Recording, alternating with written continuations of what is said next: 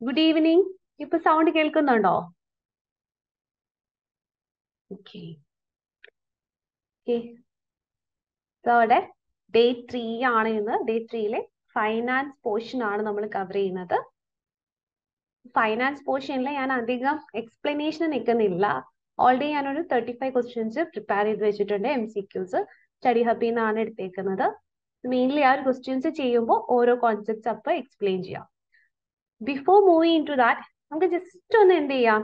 ഏതൊക്കെയാണ് important topics എന്നുള്ളത് നോക്കാം. ഇപ്പൊ തിയറി പോർഷൻസിന്റെ ആണെങ്കിലും അതേപോലെ കാൽക്കുലേഷൻ പാർട്ടിന്റെ ആണെങ്കിലും ഇമ്പോർട്ടന്റ് ടോപ്പിക്സ് ഇത് എവിടെ ഉണ്ട്? നിങ്ങൾക്ക് നോട്ട് ചെയ്ത് വെക്കാം.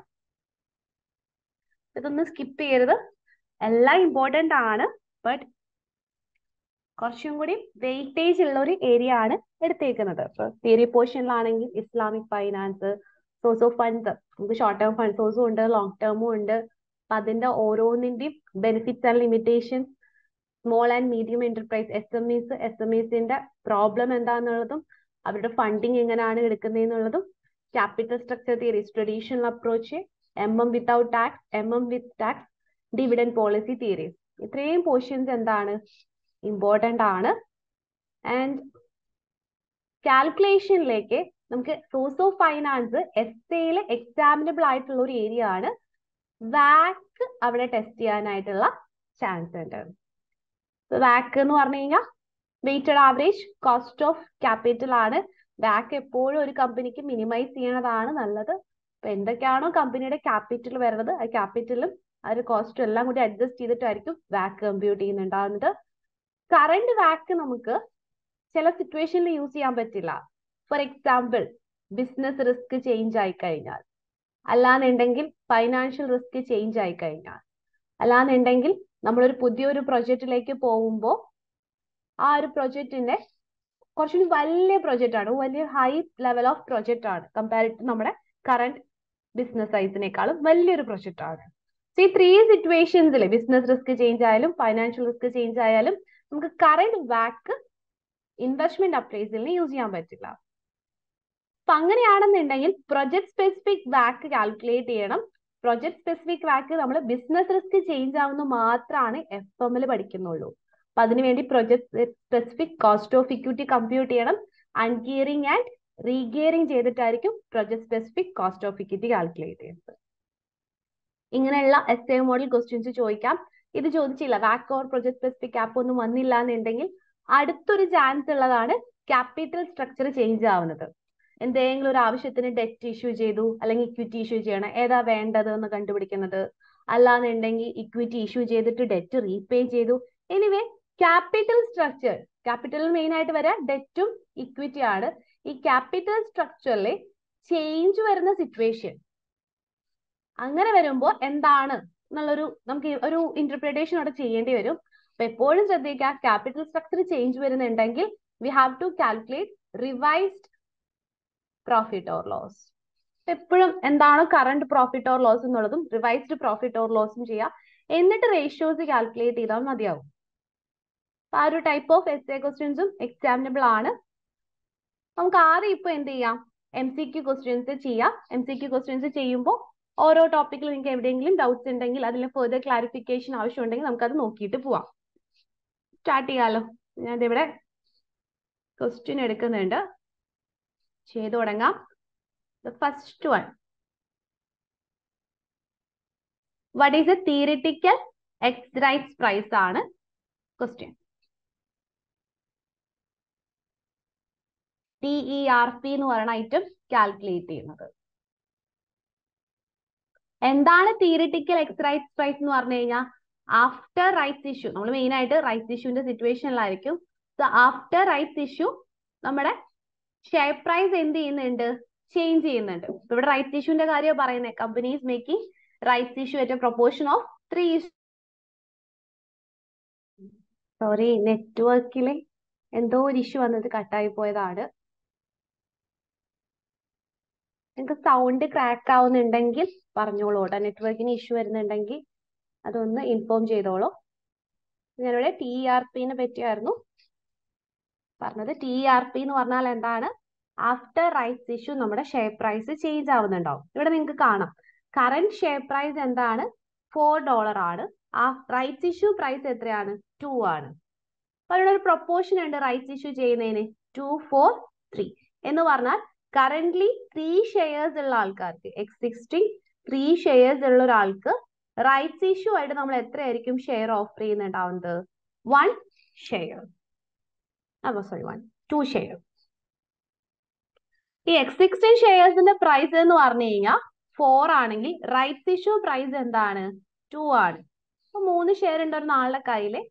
ഇനിയിപ്പോ ടോട്ടൽ നമ്പർ ഓഫ് ഷെയർസ് എത്രയാവും? ഫൈവ് നമുക്ക് എന്താണ് കണ്ടുപിടിക്കേണ്ടത്? ഈ ഒരു rights issue കഴിഞ്ഞാലത്തെ T R P after rights issue ഒരു ഷെയറിന്റെ പ്രൈസ് എത്രയായിരിക്കും എത്രയായിരിക്കുന്നതാണ് ഞാനിവിടെ ഫോളോ ചെയ്യുന്നത് വെയിറ്റേജ് എടുക്കുക എന്നുള്ളതാണ്. സോ വെയിറ്റേജ് എടുക്കുക എന്ന് പറയുമ്പോൾ ഈ ഒരു X സിക്സ്റ്റിന്റെ weightage three multiplied with fourteen that is twelve റൈറ്റ്സിന്റെ weightage two into two four that means five number of ഷെയർസിന് എത്രയാണ് കോസ്റ്റ് വരുന്നത്? എത്രയാണ് അവിടെ വാല്യൂ ഉള്ളത്?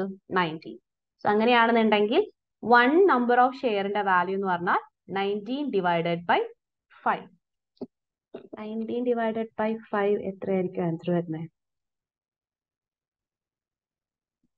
ത്രീ പോയിന്റ് എയ്റ്റ് ആൻസർ ഇല്ല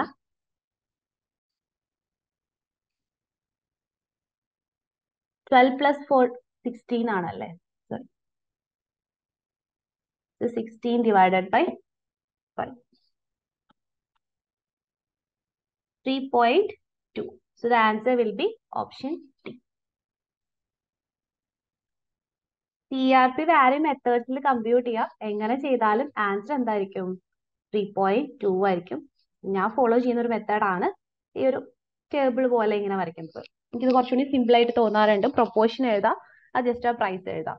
ഇൻ കേസ് ഇവിടെ പ്രൊപ്പോർഷൻ തന്നെ വേണമെന്നൊന്നുമില്ല. Proportion or total number of ഷെയർസും note ചെയ്യാം. Clear ആണോ?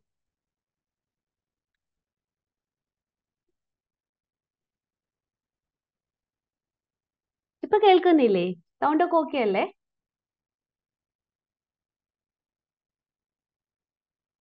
ഓക്കെ സെക്കൻഡ് ക്വസ്റ്റ്യനിലേക്ക് മൂവ് ചെയ്യാലോ? സെക്കൻഡ് ക്വസ്റ്റ്യൻ നോക്കിയിട്ട് ആൻസർ പറയും.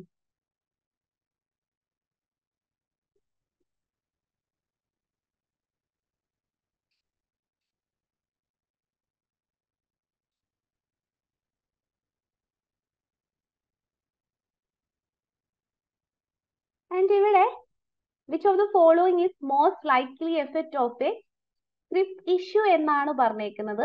ക്രിപ് ഇഷ്യൂ എന്ന് പറഞ്ഞാൽ നമ്മുടെ bonus issue free shares to the existing share holders that is bonus issue bonus ഇഷ്യൂവിന്റെ most likely effect ആണ്. ഏതായിരിക്കും ആൻസർ വരുന്നത്?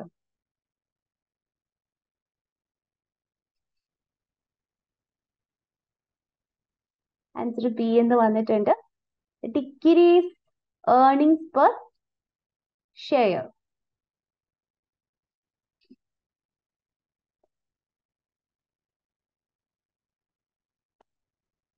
decrease earnings per share എന്ന് പറയുമ്പോൾ ആൻസർ കറക്റ്റ് ആവണം. കാരണം എന്തുകൊണ്ടാന്ന് വെച്ച് കഴിഞ്ഞാൽ ബോണസ് ഇഷ്യൂ ചെയ്ത് കഴിഞ്ഞാൽ നമ്പർ ഓഫ് ഷെയർസ് എന്ത് ചെയ്യുന്നുണ്ട്?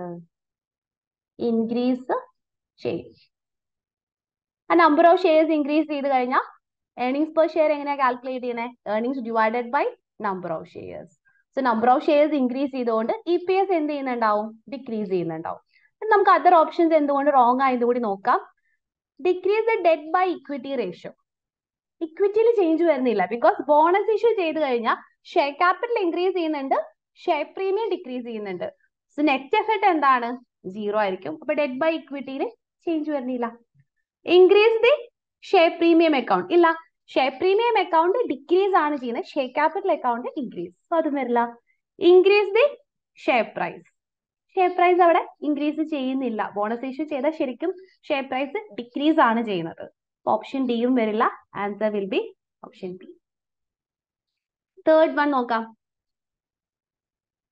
തേർഡ് വൺ വെഞ്ചർ ക്യാപിറ്റലിസ്റ്റിനെ പറ്റിയിട്ടാണ്. സോ ആരാണ് വെഞ്ചർ ക്യാപിറ്റൽ എന്ന് പറയുന്നത് ഇപ്പോ ഒരു ബിസിനസ്സിനെ അവർക്ക് നല്ല സ്കില്ലും കാര്യങ്ങളും എല്ലാം ഉണ്ട്. പക്ഷെ അവരുടെ കയ്യിൽ എന്തില്ല? ഫണ്ട് ഇല്ല. നോ ഫണ്ട് ഉള്ള ഒരു സിറ്റുവേഷൻ. അങ്ങനെ ഫണ്ട് നമ്മൾ എടുക്കാനായിട്ട് നമ്മളെ സഹായിക്കുന്ന ഒരാളാണ് എന്ത്? Venture capital. വെഞ്ചർ ക്യാപിറ്റലിസ്റ്റ് നമുക്ക് എന്ത് ചെയ്യും? ഫണ്ട് പ്രൊവൈഡ് ചെയ്യുന്നുണ്ടായിരിക്കും. എന്തായിരിക്കും അവർ ഫണ്ട് തരുന്നതിന്റെ അവർക്കുള്ള ഒരു ബെനിഫിറ്റ് എന്ന് പറഞ്ഞാൽ അവർ നമ്മുടെ ഓണർഷിപ്പിലായിരിക്കും. ഓണർഷിപ്പിന്റെ ഒരു ഷെയർ എന്ത് ചെയ്യേണ്ടി വരും? വെഞ്ചർ ക്യാപിറ്റലിസ്റ്റിന് കൊടുക്കേണ്ടി വരും. അതാണ് വെഞ്ചർ ക്യാപിറ്റൽ. അപ്പൊ നമ്മളൊരു സോഴ്സ് ഓഫ് ഫണ്ട് ആയിട്ടായിരിക്കും വെഞ്ചർ ക്യാപിറ്റലിനെ യൂസ് ചെയ്യുന്നുണ്ടാവുന്നത്. അങ്ങനെ വരുന്ന ആൻസർ ഏതാ ഉള്ളത്?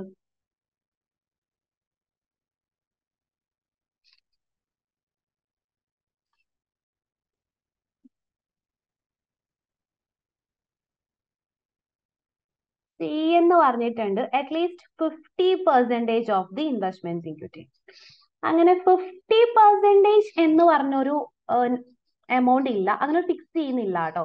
ഇപ്പൊ വെഞ്ചു ക്യാപിറ്റലിന് ഓണർഷിപ്പ് വേണം എന്നേ പറയുന്നുള്ളൂ. അത് എങ്ങനെയാണെന്നുള്ളത് അവർ തമ്മിലുള്ള നെഗോസിയേഷൻ അനുസരിച്ചിരിക്കും. അപ്പൊ ഫിഫ്റ്റി പെർസെന്റേജ് എന്ന് പറയുന്ന ഒരു ആ ഒരു നമ്പർ അങ്ങനെ വരുന്നില്ല. സർ ആൻസർ സി അല്ല. പിന്നെ ആൻസർ വന്നേക്കുന്നത് ബി വന്നിട്ടുണ്ട്. Board representation yes board representation എന്ന് പറഞ്ഞു കഴിഞ്ഞാൽ ബോർഡ് എന്ന് പറഞ്ഞ ആരാണ്? ഡയറക്ടേഴ്സ് ആണ്. സർ ഷെയർ ഹോൾഡറിന്റെ റെപ്രസെന്റേഷൻ അപ്പൊ ബോർഡ് റെപ്രസെന്റേഷൻ എന്താണ്? കറക്റ്റ് ആണ്. ഡിവിഡൻസിന് വേണ്ടി ആയിരിക്കില്ല. അപ്പൊ ഒരു ഷെയർ ഹോൾഡർ ആവാൻ വേണ്ടിയാണ്. അല്ലെങ്കിൽ ആ ഒരു കമ്പനിയുടെ ഓണർഷിപ്പിന് വേണ്ടിയായിരിക്കും വെഞ്ചർ ക്യാപിറ്റൽ എന്ത് ചെയ്യുന്നുണ്ടാവുക? Fund കൊടുക്കുന്നുണ്ടാവുന്നത്. Answer will be option B doubts ഒന്നും ഇല്ലല്ലോ. ഡൗട്ട്സ് ഉണ്ടെങ്കിൽ ചോദിച്ചോളൂ കേട്ടോ. Move to the next question fourth fourth one of the following source of equity finance is not available to a SMEs SMEs എന്ന് പറഞ്ഞാൽ ആരാണ്? സ്മോൾ ആൻഡ് മീഡിയം എന്റർപ്രൈസ് ആണ്. ഇവരൊരു അൺലിസ്റ്റഡ് ഓർഗനൈസേഷൻ ആയിരിക്കും. നോർമലി ഫാമിലി റിലേറ്റീവ്സ് അങ്ങനെ അവർ അങ്ങനെ ഒരു ഫാമിലി റിലേറ്റീവ്സ് ഫ്രണ്ട്സ് ഒക്കെ കൂടിയിട്ട് റൺ ചെയ്യുന്ന ഒരു ബിസിനസ് ആണ് എന്ത്? എസ് എം ഇസ് എന്ന് പറയുന്നത്. ഈ എസ് എം ഇസിന് ലിസ്റ്റഡ് അല്ല നോൺ അൺലിസ്റ്റഡ് കമ്പനി ആയിരിക്കും. ഓൺ ലിസ്റ്റഡ് ആയിട്ടുള്ള ഒരു ഓർഗനൈസേഷൻ അപ്പൊ അവർക്ക് അവൈലബിൾ അല്ലാത്ത ഫണ്ട് ഇതിൽ ആണ് ചോദിച്ചേക്കണേ. നോട്ട് അവൈലബിൾ ഫണ്ട് ഏതാണെന്നുള്ളതാണ്. എ ആണല്ലേ? ഐ പി ഒ ആർക്കേ അവൈലബിൾ ആവുള്ളൂ? ലിസ്റ്റഡ് ഓർഗനൈസേഷൻ ആണ്. ഐ പി ഒ എന്ന് പറഞ്ഞാൽ ലിസ്റ്റഡ് ഓർഗനൈസേഷൻ ഉള്ളതാണ് ഇനീഷ്യൽ പബ്ലിക് ഓഫറിംഗ് അതെന്തായാലും ആർക്ക് വരില്ല? എസ് എം ഇസിന് വരില്ല. ബിസിനസ് ഏഞ്ചൽസ് ഇതുപോലെ നമ്മുടെ സ്കില്ലിന് ഫണ്ട് വരുന്ന ആൾക്കാർ തന്നെയാണ് ബിസിനസ് ഏഞ്ചൽസ് സോ അവർ എസ് എം ഇസിന് ഫണ്ട് ചെയ്യും. ക്രൗഡ് ഫണ്ടിങ്ങും ഗവൺമെന്റ് ഗ്രാൻസും എസ് എം ഇസിന് വരും. ക്രൗഡ് ഫണ്ടിങ് എന്ന് പറഞ്ഞു കഴിഞ്ഞാൽ നമ്മൾ എന്ത് ചെയ്യാണ്? പല ആൾക്കാരുടെ കയ്യിൽ നിന്നായിട്ട് ഫണ്ട് എടുക്കുവാണ്. ഇപ്പൊ ജസ്റ്റ് ഒരു ഓൺലൈൻ സോഴ്സ് ഒക്കെ യൂസ് ചെയ്തിട്ടോ അല്ലെന്നുണ്ടെങ്കിൽ എന്തെങ്കിലും ഒരു ഇതില്ലേ ക്രൗഡ് സോഴ്സിംഗ് എന്ന് പറഞ്ഞു കഴിഞ്ഞാൽ ഇന്റർമീഡിയറ്റ് അവിടെ നമ്മൾ ഓൺലൈൻ ആയിട്ടൊക്കെ വെച്ചെടുക്കുന്ന ക്രൗഡ് സോഴ്സിംഗ് വരുന്നുണ്ട്. അപ്പൊ ക്രൗഡ് ഫണ്ടിങ് എന്ന് പറഞ്ഞാൽ ഒരാളുടെ കയ്യിൽ നിന്ന് ഫണ്ട് എടുക്കാതെ ഒരുപാട് ആൾക്കാരുടെ കയ്യിൽ നിന്ന്. അപ്പൊ ഇത്രേ ഉള്ളൂ. നിങ്ങൾക്ക് ഒരു ടെൻ തൗസൻഡ് റുപ്പീസ് വേണം. ഒരാളോട് ചോദിച്ചാൽ ചിലപ്പോൾ അവർ തരില്ല. നമ്മളൊരു നൂറ് പേരുടെ കയ്യിൽ നിന്ന് ഹൺഡ്രഡ് വെച്ചിട്ട് മേടിക്കുകയാണ്. സോ ടെൻ തൗസൻഡ് ആയി. അങ്ങനെ ഒരുപാട് ആൾക്കാരുടെ കയ്യിൽ നിന്ന് ചെറിയ എമൗണ്ട് വെച്ച് കളക്ട് ചെയ്യുന്നതാണ് ക്രൗഡ് ഫണ്ടിങ് അത് എസ് എം എസിന്റെ ഒരു സോഴ്സ് ഓഫ് ഫണ്ട് ആണ്. ഇതിൽ ഏത് answer വരുന്നുണ്ടാവുക? I P O next fifth one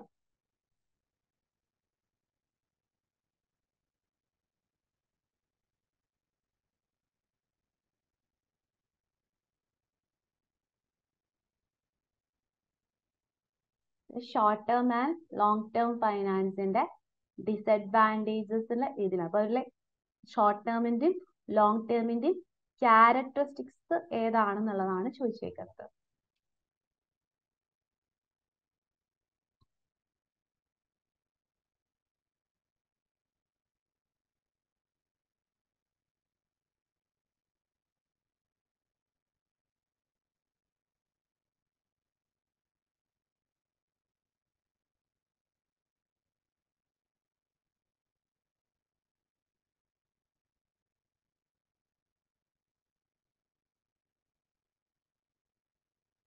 C അല്ലേ lower roll over risk higher cost എന്തുകൊണ്ടാണ് നിങ്ങൾ ഹയർ കോസ്റ്റ് ലോങ് ടേമിൽ പറഞ്ഞത്? നമ്മൾ ഇന്നലെ തന്നെ പറഞ്ഞതേ ഉള്ളൂ.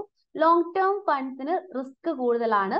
സോ റിട്ടേൺസ് കൂടുതലായിരിക്കും. That means higher cost correct ആണ്. ബട്ട് ഇവിടെ ഷോർട്ട് ടേം ഫൈനാൻസിലെ ലോവർ റിസ്ക് ആണ്. പക്ഷെ ഇവിടെ ലോവർ റിസ്ക് എന്നാണോ എഴുതിയേക്കുന്നത് റോൾ ഓവർ എന്നാണ് പറഞ്ഞേക്കുന്നത് അപ്പൊ ലോവർ റിസ്ക് ആയിരുന്നെങ്കിൽ ശരിയാണ് നിങ്ങൾ ആ ഒരു സി പറഞ്ഞിരുന്നെങ്കിൽ ഓക്കെ ആണ്. പക്ഷെ റോൾ ഓവർ എന്നൊരു വേർഡ് അവിടെ വന്നിട്ടുണ്ട്. എന്താണ് റോൾ ഓവർ എന്നുകൊണ്ട് ഉദ്ദേശിക്കുന്നുണ്ടാവുന്നത്? ഇപ്പൊ ഷോർട്ട് ടേം ഫണ്ട്സ് ആണെങ്കിൽ റോളിങ് ചെയ്യത്തില്ലേ? ഇപ്പൊ ഈ ഒരു കഴിഞ്ഞു കഴിഞ്ഞാൽ കഴിഞ്ഞോ? ഇപ്പൊ ഒരു പ്രാവശ്യം കൊണ്ട് തീരുന്നില്ല. നമുക്ക് എപ്പോഴും എന്ത് ചെയ്തുകൊണ്ടിരിക്കും? ഷോർട്ട് ടേം ഫണ്ട്സ് റിക്വയർ ചെയ്തുകൊണ്ടിരിക്കും. അപ്പൊ റോൾ ഓവർ റിസ്ക് എവിടെ കൂടുതലാണ്? ഹയർ ആണ് ഷോർട്ട് ടേം ഫണ്ട്സിൽ ഇത്രേ ഉള്ളൂ. ഷോർട്ട് ടേം ഫണ്ട്സ് നമുക്ക് വൺ ടൈം റിക്വയർമെന്റ് അല്ല. നമുക്ക് എപ്പോഴും എന്തുണ്ട്? ഷോർട്ട് ടേം ഫണ്ട്സിന്റെ ആവശ്യം വരും. അത് ഇങ്ങനെ റോളിംഗ് ഇങ്ങനെ നടന്നുകൊണ്ടേ ഇരിക്കും ബിസിനസ്സിൽ അപ്പൊ ആ റോളിംഗ് നടക്കുന്നതാണ് റോൾ ഓവർ റിസ്ക് എന്ന് പറയുന്നുണ്ടാവുക. ലോങ് ടേം ഫണ്ട്സിലാണെങ്കിൽ റോൾ ഓവർ അങ്ങനെ ഒരുപാട് റോൾ ഓവേഴ്സിന്റെ ആവശ്യമൊന്നും വരണില്ല. നമുക്കൊരു റിക്വയർമെന്റ് ഒരു വലിയ എമൗണ്ട് നമ്മൾ എപ്പോഴും എപ്പോഴും ഒന്നും റേസ് ചെയ്യില്ല. ഷോർട്ട് ടേം ഫണ്ട്സിലെ റോൾ ഓവർ റിസ്ക് എന്താണ്? ഹയർ ആണ്. റോൾ ഓവർ റിസ്ക് എന്താന്നുള്ളത് നോട്ട് ചെയ്ത് വെച്ചോളൂ കേട്ടോ. റോൾ ഓവർ റിസ്ക് എന്ന് പറഞ്ഞു കഴിഞ്ഞാൽ short term funds requires each year അല്ലെങ്കിൽ ഈച്ച് പീരീഡിൽ നമുക്ക് എന്ത് ചെയ്യുന്നുണ്ടാവും? ഫണ്ട് റിക്വയർമെന്റ് വരും. അപ്പൊ ആ ഒരു മൾട്ടിപ്പിൾ ടൈംസിന്റെ റിക്വയർമെന്റിനെ ആയിരിക്കും റോൾ ഓവർ എന്ന് ടേം ചെയ്യുന്നത്. ക്ലിയർ അല്ലേ?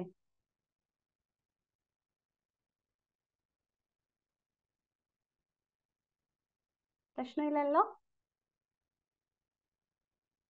ഓക്കെ അല്ലാന്നുണ്ടെങ്കിൽ പറഞ്ഞോളൂ കേട്ടോ.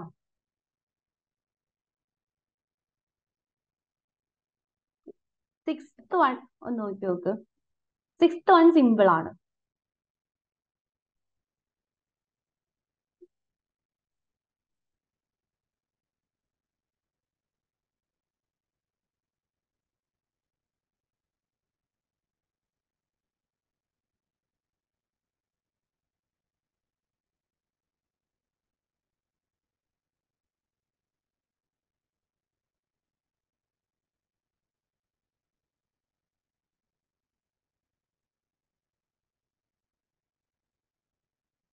വൺ എന്താണ് പറയുന്നത് company has in issue six percentage hundred dollar loan note with a current market value one note five ഇനി ഈ സിക്സ് പെർസെന്റേജ് എന്തിനാണ് റെപ്രസെന്റ് ചെയ്യണേ എന്നുള്ളതാണ് ചോദിച്ചേക്കുന്നത്.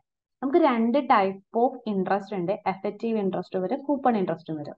ഈ കൂടെ തരുന്ന സിക്സ് പെർസെന്റേജ് എന്ന് പറഞ്ഞാൽ എന്താണ്?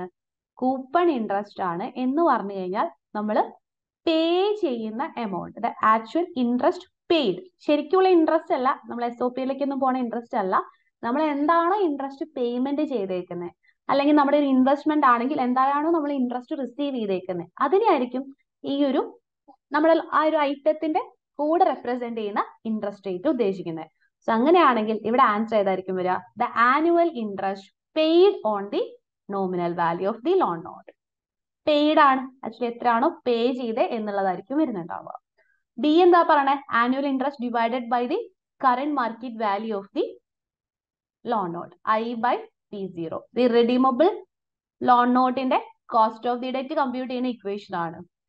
Total return on the loan note taking into account അതുമല്ല ടോട്ടൽ റിട്ടേൺസ് അല്ല ആ സിക്സ് പെർസെന്റേജ് ഉദ്ദേശിക്കുന്നത് സിക്സ് പെർസെന്റേജ് എത്രയാണ് പേ ചെയ്യുന്നത് എന്നുള്ളതാണ്. Annual interest paid on the market വാല്യൂനെ base ചെയ്തിട്ടല്ല. നോമിനൽ വാല്യൂനെ ബേസ് ചെയ്തിട്ടായിരിക്കും എന്ത് ചെയ്യുന്നുണ്ടാവുക? ഇൻട്രസ്റ്റ് പേ ചെയ്യുന്നുണ്ടാവുക മാർക്കറ്റ് വാല്യൂ ആണെങ്കിൽ എപ്പോഴും എപ്പോഴും ഇങ്ങനെ ചേഞ്ച് ചെയ്തുകൊണ്ടിരിക്കില്ലേ? സോ ആനുവൽ ഇൻട്രസ്റ്റ് എങ്ങനെ പേ ചെയ്യുള്ളൂ? Based on the nominal value അപ്പൊ ആൻസർ ഏതാണ്? ഓപ്ഷൻ എ നെക്സ്റ്റ് നമുക്ക് ഇനി seventh one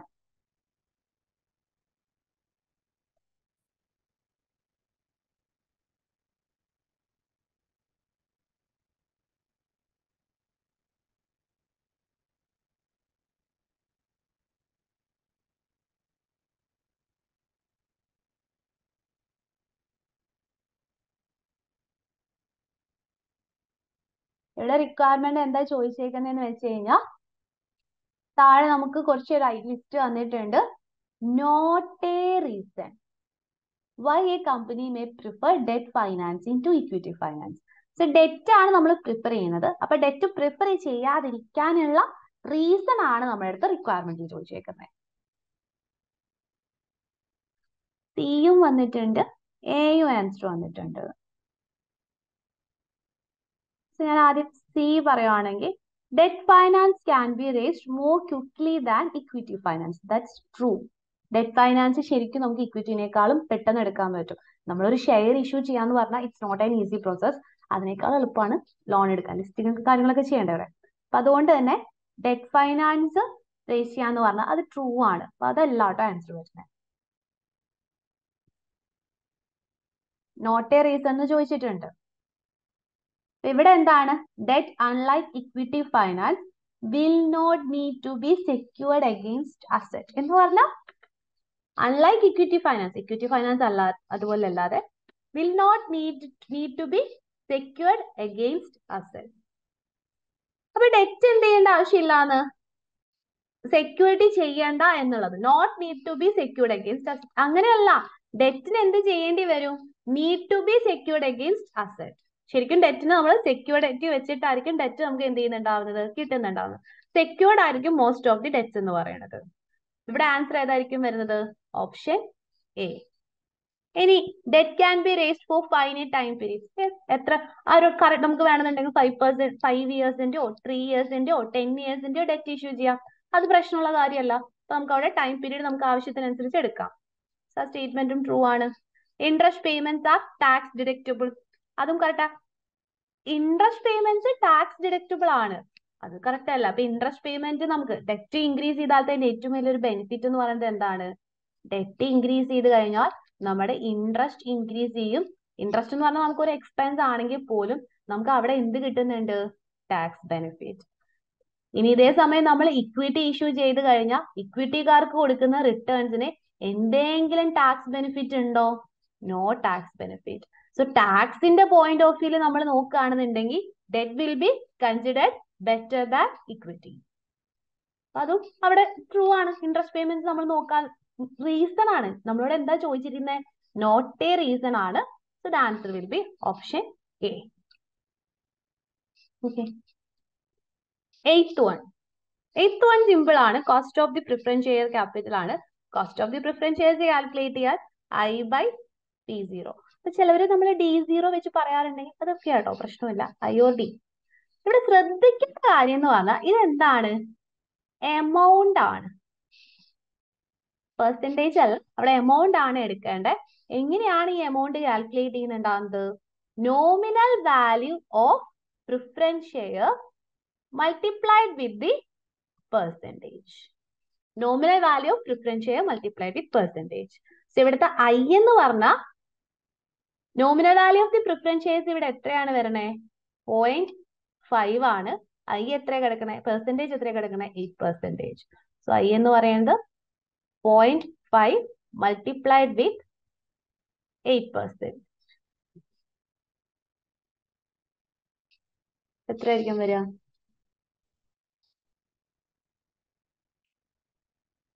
Point zero two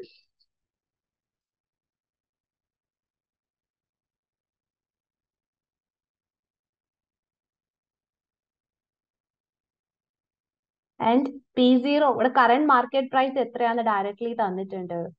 point six ടാക്സിന്റെ എഫക്റ്റ് വരുമോ? ഇല്ല. പ്രിഫറൻസ് ഷെയർസിന് ഒരിക്കലും ടാക്സിന്റെ എഫക്റ്റ് വരില്ല. സോ ഈ ടാക്സിന് നമ്മൾ എന്ത് ചെയ്യേണ്ട കാര്യമില്ല? കൺസിഡർ ചെയ്യേണ്ട ആവശ്യമില്ല. Point zero two divided by point six ഒരു minute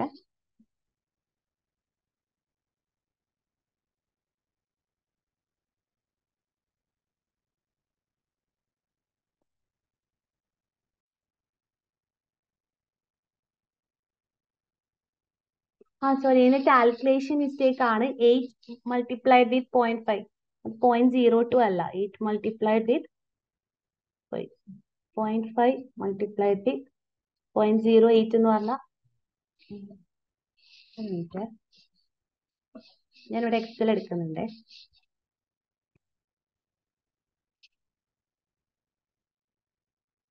Point zero eight multiplied with point five point zero four ആണ്. ഞാനത് കാൽക്കുലേറ്റ് ചെയ്തപ്പോൾ എന്തോ ഒരു mistake വന്നേക്കുന്നതാണ്.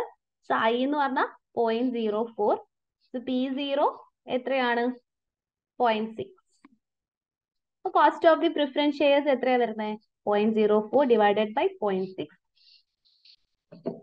point six point seven answer ഏതാണ് വരുന്നത് സിക്സ് പോയിന്റ് സെവൻ പെർസെന്റേജ് അപ്പൊ ഇവിടെ പ്രത്യേകം നിങ്ങൾ ശ്രദ്ധിക്കേണ്ട കാര്യം പ്രിഫറൻസ് ഷെയർസ് ആണെന്നുണ്ടെങ്കിൽ ടാക്സിന് എഫക്റ്റ് ഇല്ല. പ്രിഫറൻസ് ഷെയർസിന് ടാക്സ് നോട്ട് ചെയ്ത് വെച്ചോളൂ. തെറ്റിക്കരുത്. നമുക്ക് പ്രിഫറൻസ് ഷെയർസിന് ടാക്സ് തന്നാലും നോക്കേണ്ട കാര്യമുണ്ടോ?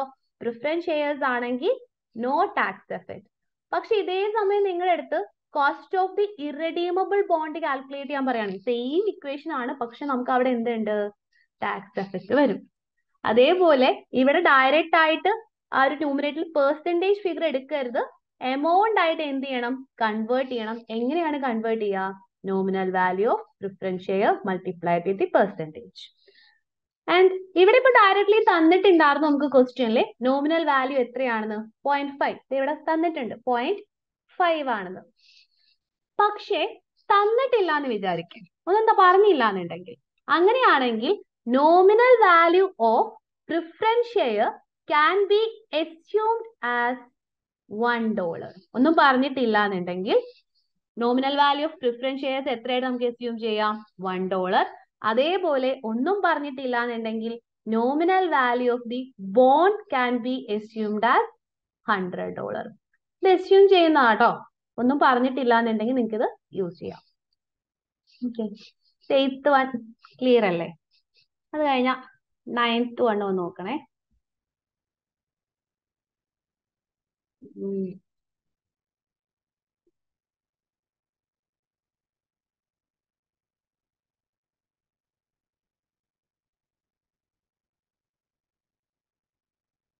നയൻത്ത് നയൻത്ത് ക്വസ്റ്റ്യനിലെ ഞാനിവിടെ നോക്കുവാണെങ്കിൽ ഫസ്റ്റ് അവർ തന്നേക്കുന്നത് നമ്മളോട് ചോദിച്ചേക്കുന്നത് കോസ്റ്റ് ഓഫ് ഇക്വിറ്റി കാൽക്കുലേറ്റ് ചെയ്യാനാണ് സോ കോസ്റ്റ് ഓഫ് ഇക്വിറ്റി ഇവിടെ ഡിവിഡൻഡ് ഗ്രോത്ത് മോഡലാണ് യൂസ് ചെയ്യേണ്ടത്.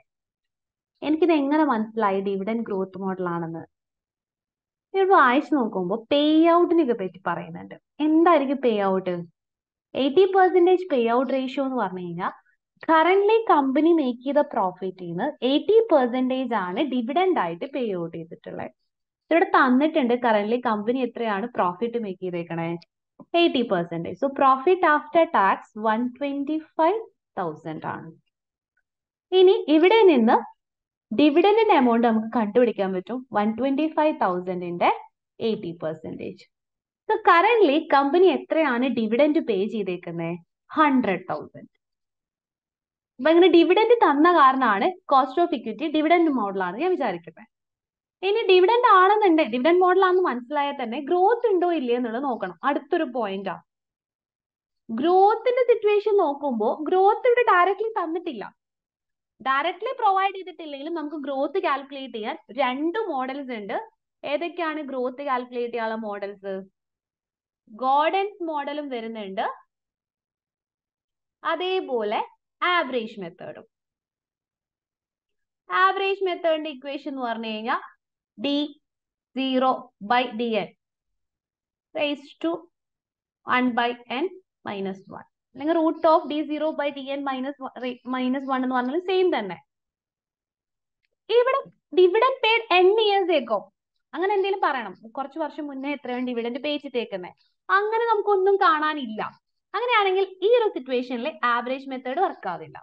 നമ്മൾ നോക്കണം കേട്ടോ. അങ്ങനെ ഏതെങ്കിലും വർക്ക് ആവുമോ എന്നുള്ള കാര്യം. ഗോഡൻസ് മോഡൽ വർക്ക് ആവോ എന്ന് ചോദിക്കുമ്പോൾ ദേ ഇവിടെ കിടക്കുന്നുണ്ട്? Expected return and its project Gordon's മോഡലിന്റെ ഇക്വേഷൻ ബി ആർ ആണ്. അതിലെ ആർ അവിടെ ഡയറക്ട്ലി തന്നിട്ടുണ്ട്. ഫിഫ്റ്റീൻ പെർസെന്റേജ് ആണ്. അപ്പൊ ബി കണ്ടുപിടിക്കാൻ പറ്റുമോ?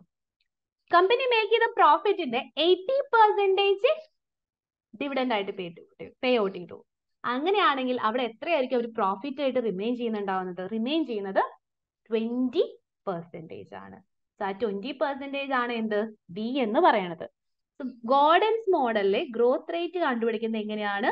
ബി ആർ ഇപ്പൊ ബി എന്ന് പറഞ്ഞാൽ എന്താണ്? Balance of proportion of profit retained അത് നമുക്ക് ഇവിടുന്ന് കിട്ടും? എത്രയാണ്? പോയിന്റ് ടു കാരണം കമ്പനി മേക്ക് ചെയ്ത പ്രോഫിറ്റിന്റെ എയ്റ്റി പെർസെന്റേജ് ഡിവിഡൻഡ് പേ ചെയ്ത് കഴിഞ്ഞാൽ റിമെയിൻ ചെയ്യുന്നത് എത്രയാണ്? പോയിന്റ് ടു ആർ ഇവിടെ ഡയറക്ട്ലി തന്നിട്ടുണ്ട്. ആറ് എത്രയാണ്? Fifteen percentage point point five അങ്ങനെയാണെങ്കിൽ ഇവിടെ ഗ്രോത്ത് റേറ്റ് നമുക്ക് കണ്ടുപിടിക്കാം. Point two multiplied with point one five എത്രയാ വരിക? Point zero three so growth rate എത്രയാണ്? ത്രീ പെർസെന്റേജ് അങ്ങനെ ഗ്രോത്ത് കണ്ടുപിടിച്ചതുകൊണ്ടാണ് ഇവിടെ എന്ത് ചെയ്തത്? ഗ്രോത്തിന്റെ ഇക്വേഷൻ എഴുതിയത്. നമ്മൾ നോർമലി ഒക്കെ ചെയ്തിട്ടുണ്ടാവുന്നത് ഒരു ഒരു ഒരൊറ്റ ഷെയറിന്റെ ഡിവിഡൻഡ് എത്രയാണ്? ഒരു ഷെയർ പ്രൈസ് ഒക്കെയാണ്. പക്ഷെ ഈ ക്വസ്റ്റ്യനിൽ ഒരെണ്ണത്തിന്റെ വർക്കൗട്ട് ആവില്ല. ടോട്ടൽ ഡിവിഡന്റും ടോട്ടൽ ഷെയർ വാല്യൂ ആണ് എടുക്കേണ്ടത്. ഒന്നില്ലെങ്കിൽ നിങ്ങൾക്ക് എന്ത് ചെയ്യാം? ഡിവിഡൻഡ് പെർ ഷെയറും കറണ്ട് ഇയർ ഷെയർ പ്രൈസ് ഒരു ഷെയറിന്റെ പ്രൈസും എടുക്കാം. അല്ലാന്നുണ്ടെങ്കിൽ ടോട്ടൽ ഡിവിഡൻഡ് എടുക്കാം. ടോട്ടൽ ഡിവിഡൻഡ് എടുക്കുകയാണെന്നുണ്ടെങ്കിൽ ഷെയർ വാല്യൂ എടുക്കുമ്പോഴും ടോട്ടൽ വാല്യൂ എടുക്കണം. അത്രയേ ഉള്ളൂ. അപ്പൊ ഇവിടെ ഡി വണ്ണിന്റെ പ്ലേസിൽ ഡി വണ്ണിന്റെ പ്ലേസിൽ എന്ന് പറയുമ്പോൾ ഇതെന്താണ്? നമ്മൾ കണ്ടുപിടിച്ച hundred thousand D zero current year dividend ആയിട്ടുള്ളൂ. സോ ഡി വൺ ആക്കാനായിട്ട് hundred thousand multiplied with one point zero three ഒരു വർഷത്തെ ഗ്രോത്ത് റേറ്റ് അഡ്ജസ്റ്റ് ചെയ്ത് കൊടുത്താൽ ഡി വൺ ആയി. Divided by P zero the market capitalization നമുക്ക് ഡയറക്ട്ലി തന്നിട്ടുണ്ട്. എത്രയാണ്? വൺ പോയിന്റ് ഫൈവ് മില്യൺ അത് അവിടെ എഴുതി കൊടുക്കാം? One point five million plus G plus G എന്ന് പറഞ്ഞാൽ പോയിന്റ് സീറോ ത്രീ അത് ചെയ്ത് മൾട്ടിപ്ലൈ വിത്ത് ഹൺഡ്രഡ് ചെയ്ത് കഴിഞ്ഞാൽ എന്താവും നമ്മുടെ ഫൈനൽ ആൻസർ ആവും അപ്പൊ അതൊന്ന് സോൾവ് ചെയ്ത് നോക്കൂ എന്നിട്ട് എത്ര ആൻസർ വരണേന്ന് കണ്ടുപിടിക്കൂ. ഇത് ക്ലിയർ അല്ലേ? ഇതിൽ ഏതെങ്കിലും ഡി വണ്ണോ ഗ്രോത്തോ എന്തെങ്കിലും ഫിഗർ എടുത്തത് മനസ്സിലാവാത്തവരുണ്ടോ?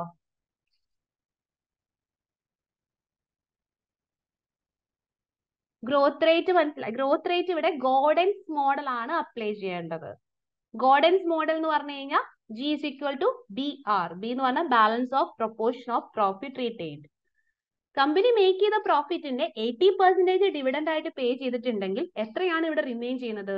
Twenty percentage so point two B R ഇവിടെ ഡയറക്ട്ലി തന്നിട്ടുണ്ട് fifteen percentage so R point one five ആ ഒരു ഇക്വേഷനിൽ അപ്ലൈ ചെയ്യുവാണ് point two multiplied with point one five അങ്ങനെയാണ് ഗ്രോത്ത് റേറ്റ് ത്രീ പെർസെന്റേജ് കിട്ടുന്നത്. ഇത് സോൾവ് ചെയ്യുകയാണെങ്കിൽ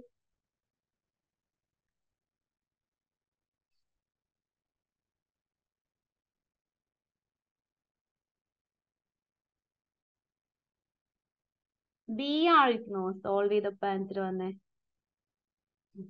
ഡിവിഡൻഡ് ഹൺഡ്രഡ് തൗസൻഡ് ഇത് ഇവിടെ തന്നിട്ടുണ്ട് നമുക്ക് ക്വസ്റ്റ്യനിൽ പ്രോഫിറ്റ് എത്രയാണെന്നുള്ളത്? വൺ ട്വന്റി ഫൈവ് തൗസൻഡ് ഈ ഡിവിഡൻഡ് പേ ഔട്ട് കേട്ടോ ഈ ഒരു റേഷ്യോ ഇവിടെ കിടക്കുന്നുണ്ട്. പേ ഔട്ട് എത്രയാണെന്ന്? എയ്റ്റി പെർസെന്റേജ് അപ്പൊ നമ്മുടെ കറണ്ട് ഇയർ പ്രോഫിറ്റിൽ നിന്ന് നമ്മൾ എത്രയാണ് ഡിവിഡൻഡ് പേ ചെയ്തേക്കുന്നത് എയ്റ്റി പെർസെന്റേജ് സോ പ്രോഫിറ്റ് ഇവിടെ വൺ ട്വന്റി ഫൈവ് തൗസൻഡ് ആണെങ്കിൽ ഡിവിഡൻഡ് എമൗണ്ട് എന്ന് പറയുന്നത് one twenty five thousand multiplied with 80 percentage.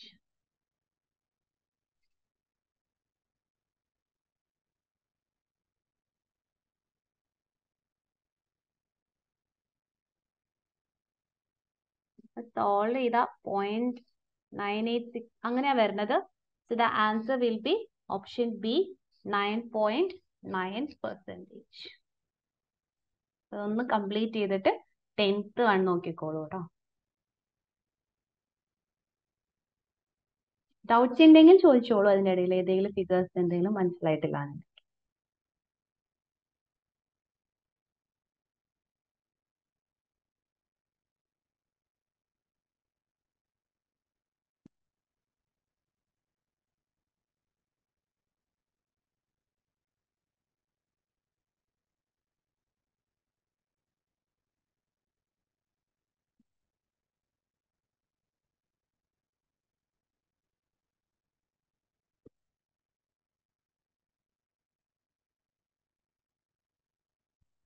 അടുത്തതിന്റെ ആൻസർ വരുന്നത് എ ആണ്. എന്താണ് requirement which of the following factors may cause a company to increase the proportion of debt in its capital structure ഇപ്പൊ capital സ്ട്രക്ചറിൽ debt increase ചെയ്യാനായിട്ട് നമുക്ക് തോന്നുന്ന ഒരു factor increase in the corporation tax rate answer correct ആണ്. കാരണം tax rate increase ചെയ്ത് കഴിഞ്ഞാൽ നമുക്ക് ഇൻട്രസ്റ്റ് കാരണം കിട്ടുന്ന ടാക്സ് ബെനിഫിറ്റ് എന്ത് ചെയ്യും? ഇൻക്രീസ് ചെയ്യും. അപ്പൊ ആ ടാക്സ് ബെനിഫിറ്റിന് വേണ്ടിയിട്ടായിരിക്കും നമ്മൾ എന്ത് ചെയ്യുന്നുണ്ടാവുക? ഓക്കെ ഡെറ്റ് ഇഷ്യൂ ചെയ്താൽ നമുക്ക് കൊള്ളാൻ തോന്നും. പക്ഷെ എപ്പോഴും ഫസ്റ്റ് ഓപ്ഷൻ കറക്റ്റ് ആണെന്ന് തോന്നിയാൽ പോലും ആദ്യമേ പോയിട്ട് മാർക്ക് ചെയ്യരുത്. ബാക്കിയുള്ള ഓപ്ഷൻസ് എന്ത് ചെയ്തോളൂ? ഒന്ന് വായിച്ചു നോക്കിക്കോളൂ. ഇൻക്രീസ്ഡ് എക്കണോമിക് അൺസർട്ടനിറ്റി അൺസർട്ടൈൻ ആവുമ്പോൾ നമ്മൾ എന്തിനാണ് ഇപ്പൊ ഡെറ്റ് ഇഷ്യൂ ചെയ്യണേ? അതാവുമ്പോൾ ഇക്വിറ്റി ഇഷ്യൂ ചെയ്യുന്നതാണ് കുറച്ചുകൂടി നല്ലത്. Safe ആയിട്ടിരിക്കാൻ increase in the P E ratio P E ratio increase ചെയ്ത് കഴിഞ്ഞാൽ ഡെറ്റ് ഇഷ്യൂ ചെയ്യേണ്ട കാര്യം വരണില്ല ഡിക്രീസ് ഇൻ ഇൻട്രസ്റ്റ് കവർ ഒന്നും ഒരിക്കലും ചെയ്യരുത്. ഇൻട്രസ്റ്റ് കവർ ഉണ്ടെങ്കിലാണ് നമുക്ക് എന്ത് ചെയ്യാൻ പറ്റുള്ളൂ? ഡെറ്റ് ഇഷ്യൂ ചെയ്യാനായിട്ട് പറ്റുള്ളൂ. ഇഫ് ഇൻട്രസ്റ്റ് കവറേജ് കുറവാണെന്നുണ്ടെങ്കിൽ ഒരിക്കലും നമ്മൾ എന്ത് ചെയ്യാൻ പാടില്ല? ഡെറ്റ് ഇഷ്യൂ ചെയ്യാൻ പാടില്ല. ഇതവിടെ ആൻസർ ഏതായിരിക്കും? ഓപ്ഷൻ എ നെക്സ്റ്റ് ലെവൻ ഒന്ന് നോക്കൂ. ലെവൻത്ത് വണ്ണിൽ വാക്ക് കാൽക്കുലേറ്റ് ചെയ്യാനാണ് കേട്ടോ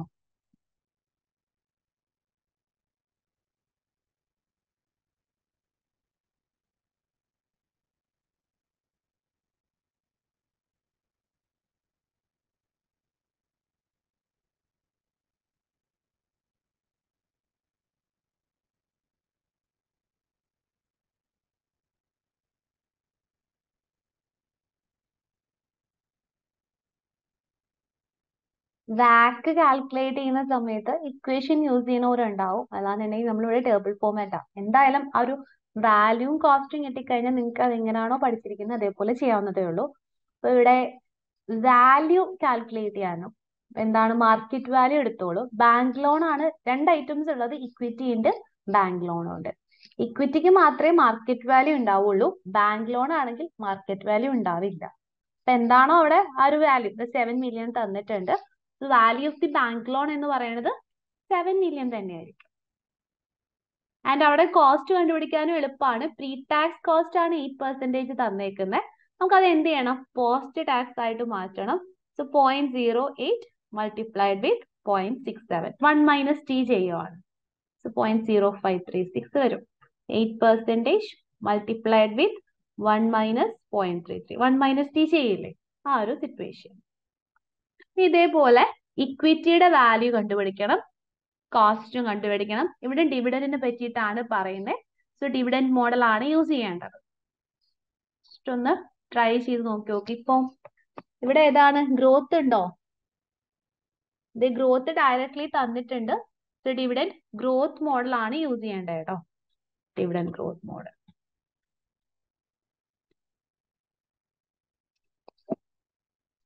dividend growth മോഡലിന്റെ ഇക്വേഷൻ നമുക്കറിയാം. D one by P zero plus G എന്തൊക്കെ വേണം? ഡി വൺ വേണം പി സീറോ വേണം ജി വേണം. ജി ജി ഡയറക്ട്ലി തന്നിട്ടുണ്ട്. പോയിന്റ് സീറോ സിക്സ് ഇവിടുത്തെ പ്രശ്നം എന്താന്ന് വെച്ചാൽ ഡിവിഡൻഡ് ആണ്. അതുപോലെ തന്നെ ഷെയർ പ്രൈസും annual dividend of point zero nine per is just about to be paid pay ചെയ്തോ ഇല്ല is just about to be paid pay ചെയ്യാൻ ഉണ്ട് എന്നുള്ളതാണ് പറയുന്നത്. ഇപ്പൊ ഡിവി ഡി വൺ അല്ല കറന്റ് ഇയർ ഡിവിഡൻഡ് ആണ്. ഇവിടെ point zero nine multiplied with one plus G growth rate നിങ്ങൾക്ക് അഡ്ജസ്റ്റ് ചെയ്യാവുന്നേ ഉള്ളൂ. സിക്സ് പെർസെന്റേജിന്റെ ഗ്രോത്ത് റേറ്റ് അഡ്ജസ്റ്റ് ചെയ്യാം. അപ്പൊ ഡി വൺ കിട്ടും. എവിടെയാണ് പ്രശ്നം വരുന്നത്? ഷെയർ പ്രൈസ് അവൻ പറയാണ് ഈ ഒരു ഷെയർ പ്രൈസ് എന്താണ്? കം പ്രൈസ് ആണ്. So what is meant by cum price dividend declare ചെയ്ത് കഴിഞ്ഞാൽ നമ്മുടെ ഷെയർ പ്രൈസ് എന്ത് ചെയ്യുന്നുണ്ട്? ഇൻക്രീസ് ചെയ്തിട്ടുണ്ടാവും. ഡിവിഡൻഡ് പേ ചെയ്താൽ അത് തനിയെ ഡൗൺ പോകും. ഇപ്പൊ ഡിവിഡൻഡ് ഡിക്ലെയർ ചെയ്താൽ ഷെയർ പ്രൈസ് അപ്പ് പോകുന്നു. ഡിവിഡൻഡ് ഡിക്ലെയർ ചെയ്താൽ ഷെയർ പ്രൈസ് ഡൗൺ പോകുന്നു. ഡിവിഡൻഡ് ഡിക്ലെയർ ചെയ്താൽ ഷെയർ പ്രൈസ് അപ്പ് പോകുന്നു. ഡിവിഡൻഡ് പേ ചെയ്താൽ ഷെയർ പ്രൈസ് എന്ത് ചെയ്യുന്നു? ഡൗൺ പോകുന്നു. അതാണ് സിറ്റുവേഷൻ ഇപ്പൊ ഡിവിഡൻഡ് ഡിക്ലെയർ ചെയ്തു ബട്ട് നോട്ട് എന്ന് പറഞ്ഞു കഴിഞ്ഞാൽ share price will include the amount of dividend so cum price എപ്പോഴാണ് വരിക? Dividend declare but not paid എന്താണ് ഈ സമയത്തിന്റെ പ്രശ്നം?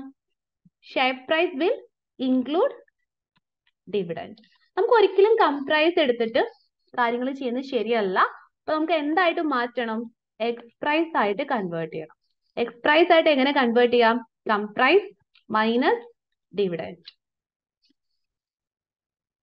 ഇവിടെ കംപ്രൈസ് എത്രയുണ്ട്? One point five five minus dividend എത്ര വരുന്നുണ്ട്? പോയിന്റ് സീറോ നയൻ ആൻസർ എത്രയായിരിക്കും?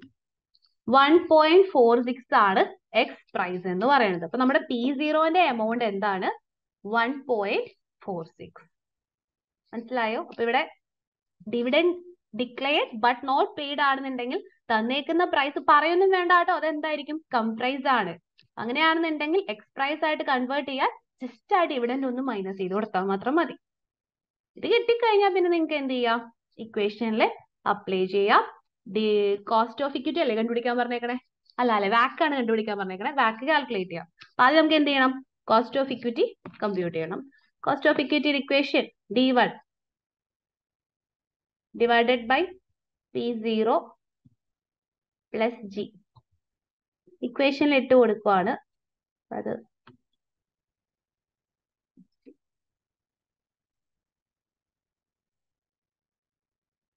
ഫിഗേഴ്സ് കിട്ടിക്കഴിഞ്ഞാൽ സോൾവ് ചെയ്യാൻ അറിയാമല്ലോ കോസ്റ്റ് ഓഫ് ഇക്വിറ്റി എത്ര വരും? Point one two five cost of equity കണ്ടുപിടിച്ചതിൽ ആർക്കെങ്കിലും എന്തെങ്കിലും ഡൗട്ട് ഉണ്ടോ? എനി ഡൗട്ട്സ്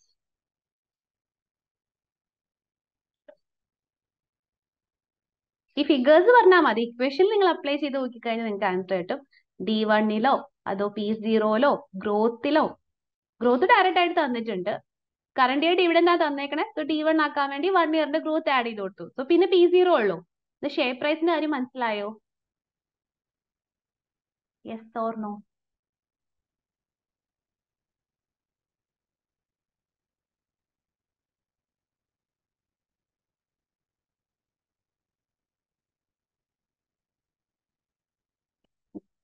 ഇതിൽ എന്തെങ്കിലും പ്രശ്നം ഉണ്ടെങ്കിൽ പറഞ്ഞാൽ മതി കേട്ടോ. നമുക്ക് ഇനി കഴിഞ്ഞില്ല വാല്യൂ ഓഫ് ദി ഇക്വിറ്റിയും വേണം. വാല്യൂ ഓഫ് ദി ഇക്വിറ്റി കണ്ടുപിടിക്കാൻ ടെൻ മില്യൺ നമ്പർ ആണ് തന്നേക്കുന്നത് നമുക്കിവിടെ കൂടെ ഡോളർ ഉണ്ടെങ്കിൽ വാല്യൂ കൂടെ ഡോളർ ഇല്ലെങ്കിൽ അതെന്താണ്? നമ്പർ സോ ഇവിടെ നമ്പർ ആണ്. വാല്യൂ ആയിട്ട് കൺവേർട്ട് ചെയ്യാൻ ten multiplied with the share price എത്രയാണ്? One point four six so value of equity value of the bank loan cost of the equity cost of the bank loan കിട്ടും. പിന്നെ നിങ്ങൾക്ക് എന്ത് കണ്ടുപിടിക്കാവുന്നതേ ഉള്ളൂ? Back calculate ചെയ്യാവുന്നതേ ഉള്ളൂ. ബാക്കിന്റെ equation വെച്ച് ചെയ്യണവരാണെങ്കിൽ equation വെച്ച് ചെയ്തോളൂ. അതല്ല ടേബിൾ ഫോമാറ്റ് ചെയ്യണവരാണെങ്കിൽ ടേബിൾ ഫോമാറ്റ്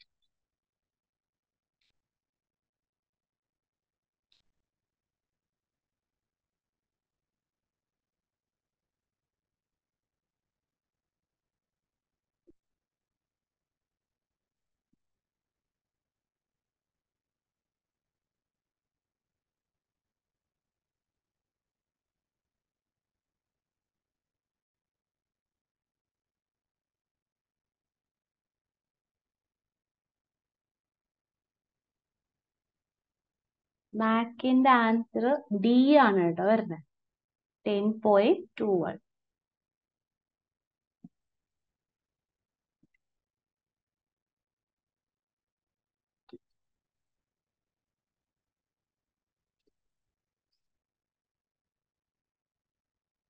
അല്ലേ ടെൻത്ത് വൺ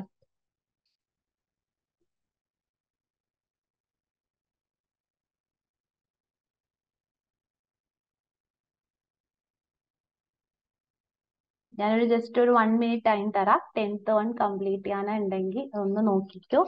എന്നിട്ട് നമുക്ക് എന്ത് ചെയ്യാം? ട്വൽത്ത് ക്വസ്റ്റ്യനിലേക്ക് മൂവ് ചെയ്യാം.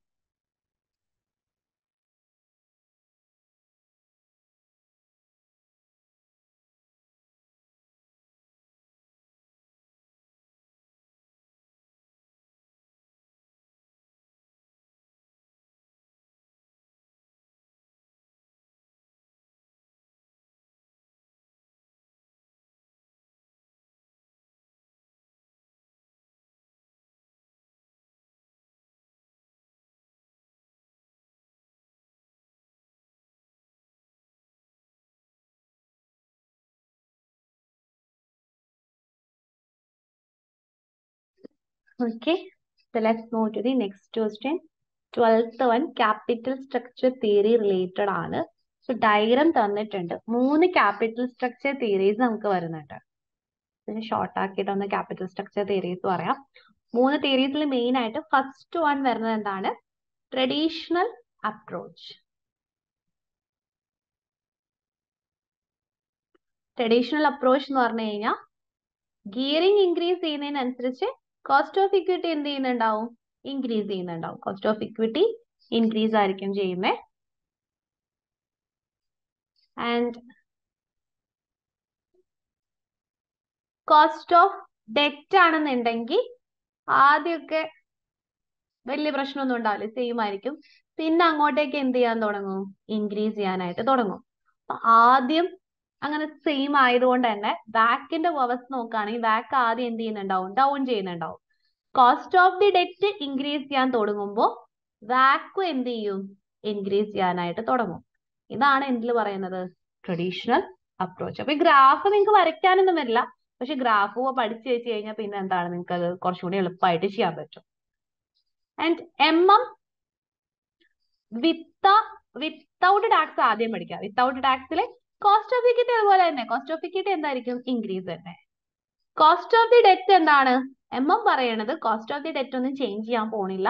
At any level of gearing cost of the debt will be same എന്നുള്ളതാണ്. അപ്പൊ cost of the debt same ആയതുകൊണ്ട് കോസ്റ്റ് ഓഫ് ദി ഇക്വിറ്റി മാത്രമേ ചേഞ്ച് ചെയ്യുന്നുള്ളൂ. വാക് വിൽ റിമെയിൻ കോൺസ്റ്റന്റ് എന്നായിരിക്കും ആര് പറയുന്നത്? M M without tax M M without ടാക്സിൽ അങ്ങനെയാ പറയുന്നത് without tax cost of equity increase ചെയ്യുന്നുണ്ട്. Cost of the debt same ആണ്. റിസൾട്ട് വാക്ക് വിൽ ബി കോൺസ്റ്റന്റ് അങ്ങനെ ഇരിക്കെ. അവർക്ക് തന്നെ മനസ്സിലായി. ഇവർ ടാക്സ് ഒന്നും യൂസ് ചെയ്തവര് കുറച്ച് അസംഷൻ ഒക്കെ യൂസ് ചെയ്തിട്ടുണ്ട്. എമൗണ്ട് മെത്തേഡ് നമുക്ക് അത്ര കറക്റ്റ് ആണെന്നും പറയാൻ പറ്റില്ല.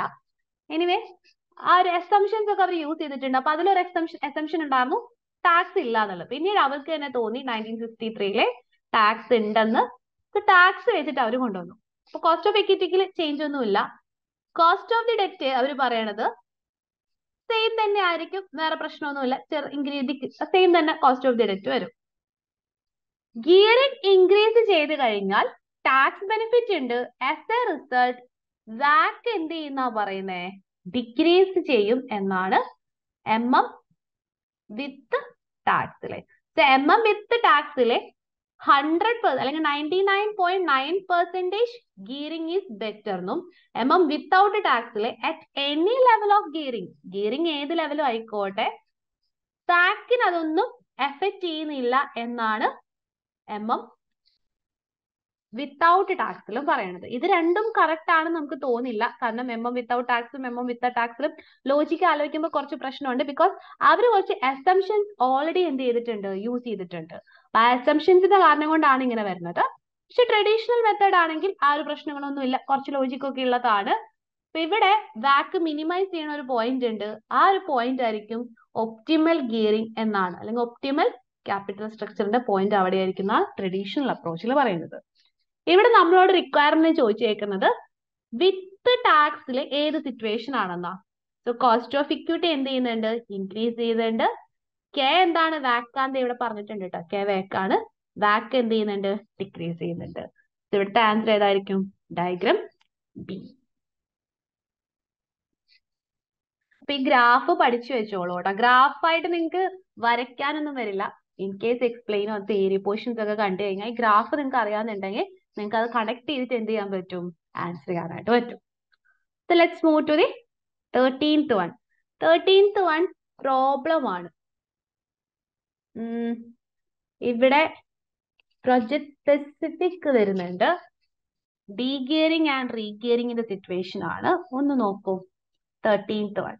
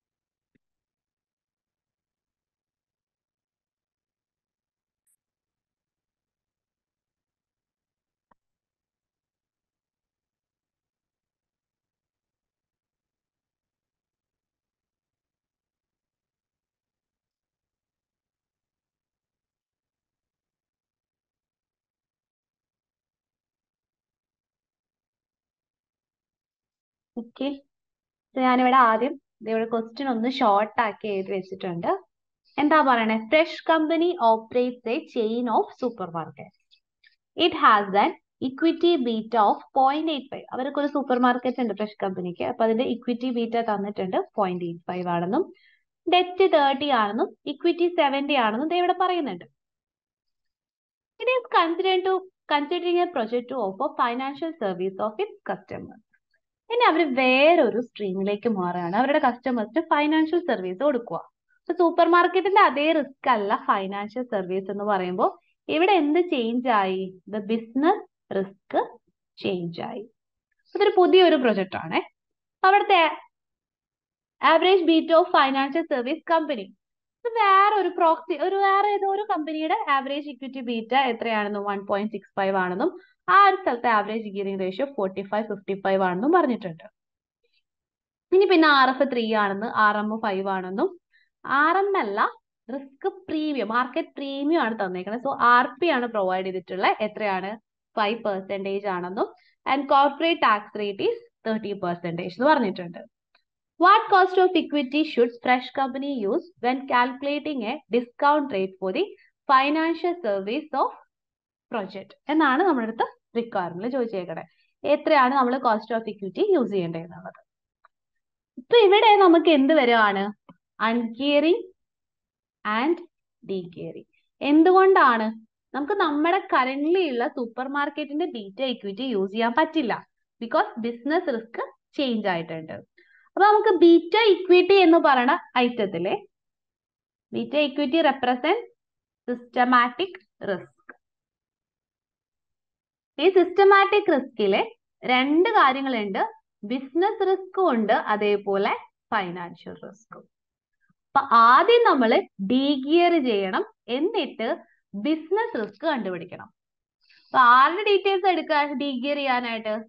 അത് ആ ഒരു സെക്ടറിൽ വേറെ ഉള്ള ആൾക്കാരുടെ. ഇവിടുന്ന് ഫൈനാൻഷ്യൽ സർവീസിന്റെ ചെയ്തിട്ടായിരിക്കണം നമുക്ക് ഡീഗിയറിങ് ചെയ്ത് ഇവിടെ നിന്ന് എന്ത് ചെയ്യണം? ബീറ്റ അസറ്റ് കണ്ടുപിടിക്കണം.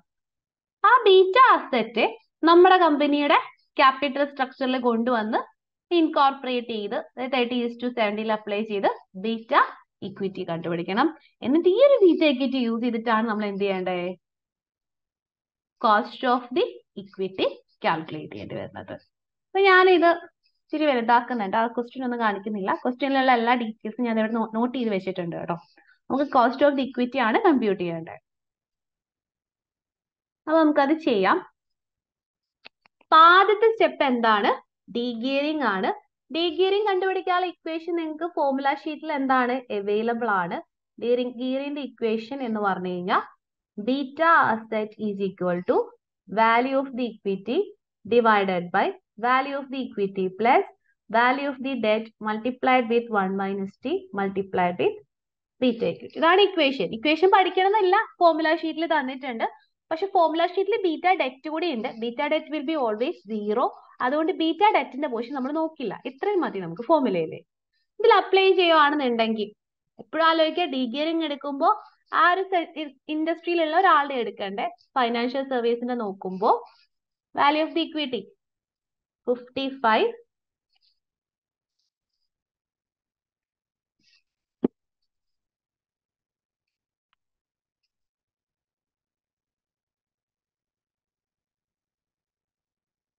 fifty five divided by fifty five plus debt എത്രയാണ്? Forty five multiplied with tax rate എത്രയാണ്? Thirty so one minus T എന്ന് പറഞ്ഞാൽ point seven multiplied with beta equity one point six five ഇത് solve ചെയ്താൽ നിങ്ങൾക്ക് എന്ത് കിട്ടും? ബീറ്റ അസെറ്റ് കിട്ടും. ഞാൻ അതൊന്ന് അവിടെ സോൾവ് ചെയ്ത് നോക്കുന്നുണ്ട്. Fifty five divided by fifty five plus forty five multiplied with point seven multiplied with one point six five beta അസറ്റിന്റെ ആൻസർ എത്രയാ വരുന്നുണ്ടാവുന്നത് one point zero four nine ഇത് സോൾവ് ചെയ്ത് നോക്കിയാൽ മതി. ഇനി നമുക്ക് അടുത്ത സ്റ്റെപ്പിലേക്ക് പോകണം റീഗിയറിംഗ് ചെയ്യണം. അപ്പൊ റീഗിയറിംഗ് ചെയ്യാനായിട്ട് സെക്കൻഡ് സ്റ്റെപ്പ്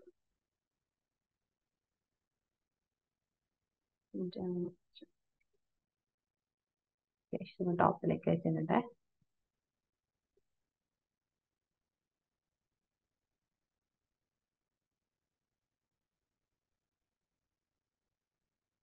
ഇവിടെ സോൾവ് ചെയ്തതാണ്. One point zero four nine ഇനി അടുത്ത സ്റ്റെപ്പ് എന്താണ്? നമുക്ക് റീഗിയറിംഗ് ചെയ്യണം. ഇപ്പൊ റീഗിയറിംഗ് എന്ന് പറയുമ്പോൾ ഇപ്പൊ നമ്മൾ കണ്ടുപിടിച്ച ബീറ്റ സെറ്റ് ഉണ്ടല്ലോ. ഇതേ സെയിം ഇക്വേഷനിൽ അപ്ലൈ ചെയ്ത് ബീറ്റ ഇക്വിറ്റി ആണ് കണ്ടുപിടിക്കേണ്ടത്. സോ വൺ point, ആ ഒരു figure zero five equal to beta set ആണ് ഇപ്പൊ കണ്ടുപിടിച്ചത്.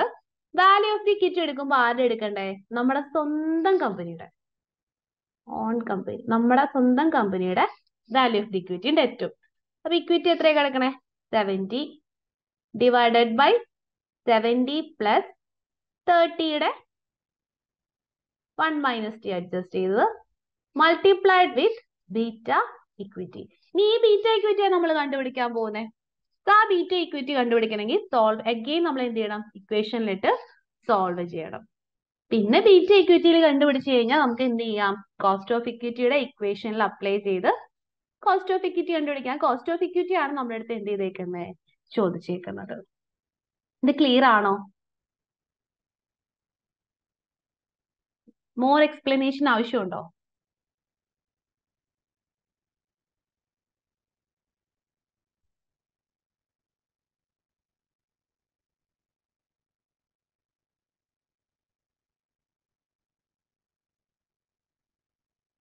ടു മിനിറ്റ് ടൈം തരാം. അപ്പൊ അതൊന്ന് സോൾവ് ചെയ്തിട്ട് ആൻസർ കണ്ടുപിടിക്കും. അത് ബീറ്റ ഇക്വിറ്റി കാൽക്കുലേറ്റ് ചെയ്യുമ്പോൾ ന്യൂമറേറ്ററിലല്ലേ ടാക്സ് എന്ന് ചോദിച്ചു കഴിഞ്ഞാൽ അത് ഇക്വേഷൻ റിവേഴ്സ് ചെയ്ത് ചെയ്യുന്ന ആൾക്കാർക്ക്. ഞാനിവിടെ ഇക്വേഷൻ ചേഞ്ചേ ചെയ്തിട്ടില്ല. സെയിം ഇക്വേഷനിലാണ് ഇട്ടേക്കുന്നത് ഇനി ഇത് റിവേഴ്സ് ചെയ്യുമ്പോൾ ടാക്സ് എന്ത് ചെയ്യും? ഓട്ടോമാറ്റിക്കലി ന്യൂമറേറ്ററിലേക്ക് മാറും കേട്ടോ അപ്പൊ അത് അങ്ങനെ ചെയ്താലും കറക്റ്റ് ആണ്. അപ്പൊ അത് അവിടെ ഇത് ഇവിടെ റിവേഴ്സിൽ വരുന്നതാ. ഇത് ഇത് കറക്റ്റ് ആണ്. നിങ്ങൾ ന്യൂമറേറ്റർ ഇട്ട് ചെയ്യുമ്പോൾ അത് ഓൾറെഡി റിവേഴ്സിൽ ചെയ്തിട്ടുണ്ടായിരിക്കും. ബീറ്റ ഇക്വിറ്റി ഈക്വൽ ടു എന്നുള്ള രീതിയിലായിരിക്കും വരിക ഞാനിവിടെ ബീറ്റ അസറ്റ് ഈക്വൽ ടു അതേ ഇക്വേഷൻ അല്ല യൂസ് ചെയ്തത്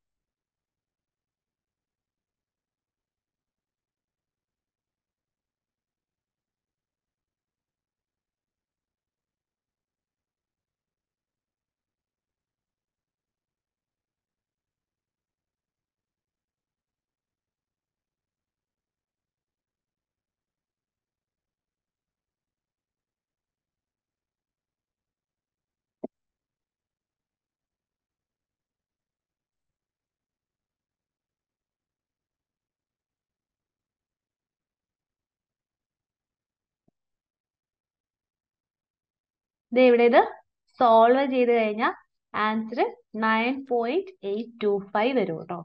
ഇതവിടെ answer will be option D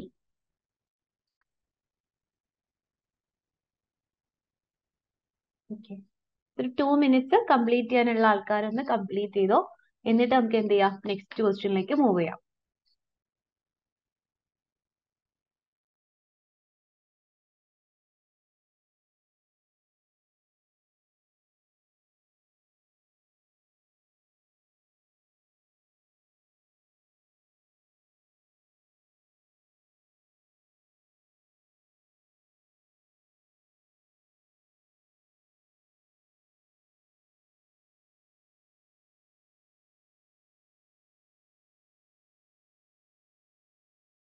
okay നമുക്ക് അടുത്ത ക്വസ്റ്റ്യനിലേക്ക് മൂവ് ചെയ്യാം. Question number fourteen fourteen theory ആണ് in relation to investment risk which of the following statement is correct simple ആണ്. വേഗം നോക്കിയിട്ട് ആൻസർ പറഞ്ഞേ.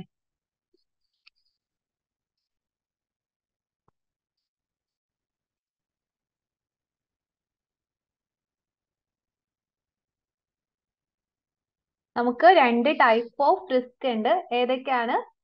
റിസ്ക് മേജർ ആയിട്ട് ക്ലാസിഫൈ ചെയ്തിട്ടുണ്ടാവുന്നത്. സിസ്റ്റമാറ്റിക് റിസ്ക്കും അൺസിസ്റ്റമാറ്റിക് അൺസിസ്റ്റമാറ്റിക് റിസ്ക് ഇൻവെസ്റ്റേഴ്സിന്റെ കാരണം അവർ മര്യാദയ്ക്ക് പോർട്ട്ഫോളിയോ മാനേജ് ചെയ്യാത്തതുകൊണ്ട് അല്ലെങ്കിൽ മര്യാദയ്ക്ക് ഡൈവേഴ്സിഫിക്കേഷൻ ചെയ്യാത്തതുകൊണ്ട് വരുന്നതാണ് അൺസിസ്റ്റമാറ്റിക് റിസ്ക് അൺസിസ്റ്റമാറ്റിക് റിസ്ക് നമുക്ക് എങ്ങനെ അവോയ്ഡ് ചെയ്യാം?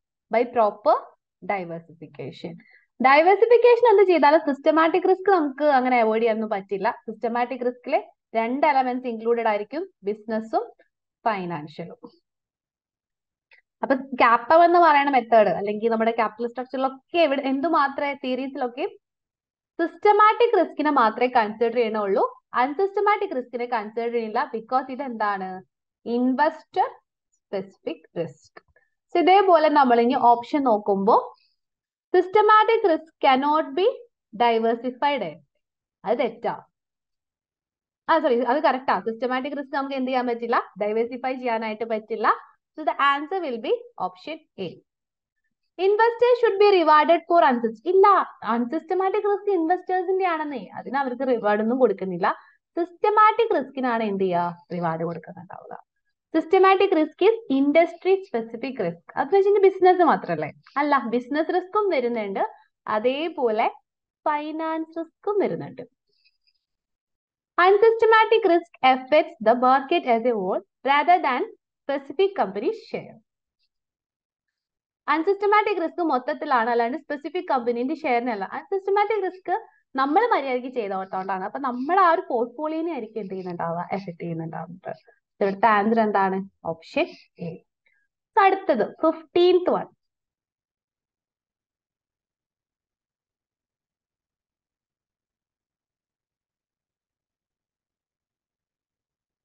fifteenth one simple ആണല്ലേ? സി എന്താണ്? ഷെയർസ് ബിക്കം മോർ മാർക്കറ്റബിൾ അപ്പൊ ഇവിടെ നമ്മുടെ ലിസ്റ്റിംഗ് ചെയ്തുകൊണ്ട് സ്റ്റോക്ക് മാർക്കറ്റിൽ പോയി ലിസ്റ്റ് ചെയ്തുകൊണ്ടുള്ള നമ്മുടെ അഡ്വാന്റേജ് ആണ് ചോദിച്ചേക്കുന്നത് എന്താണ് നമ്മുടെ അഡ്വാന്റേജ് വരിക? Shares become more marketable yes അത് കറക്റ്റ് ആണ്. പിന്നെ ഡിസ്ക്ലോഷർ റിക്വയർമെന്റ്സ് റെഡി ഇല്ലല്ല നമ്മൾ ലിസ്റ്റിംഗ് ചെയ്ത് കഴിഞ്ഞാലാണ് എന്ത് ചെയ്യേണ്ടത് കൂടുതൽ ഡിസ്ക്ലോഷേഴ്സ് ആവശ്യമുള്ളത് larger dividends can be paid നമുക്ക് ലിസ്റ്റഡ് ആണെങ്കിലും അൺലിസ്റ്റഡ് ആണെങ്കിലും നമ്മുടെ ഡിവിഡൻസ് ഒക്കെ നമ്മുടെ ഇഷ്ടത്തിനും പിന്നെ നമുക്ക് നോക്കിയിട്ട് നമുക്ക് പേ ചെയ്യാം. Reduce risk of take over അതിന് വേണ്ടിയിട്ടല്ല നമ്മൾ എന്ത് ചെയ്യുന്നുണ്ടാവുന്നത്? ലിസ്റ്റിംഗ് ചെയ്യുന്നുണ്ടാവും. നമ്മൾ ഷെയർസ് മാർക്കറ്റബിൾ ആക്കാനാണ് ലിസ്റ്റിംഗ് ചെയ്യുന്നത്. So the answer is option C ഇനി sixteenth one stock market may provide a quotation for companies' existing shares without that the company making any new shares available to the market. അപ്പൊ നമ്മൾ normally share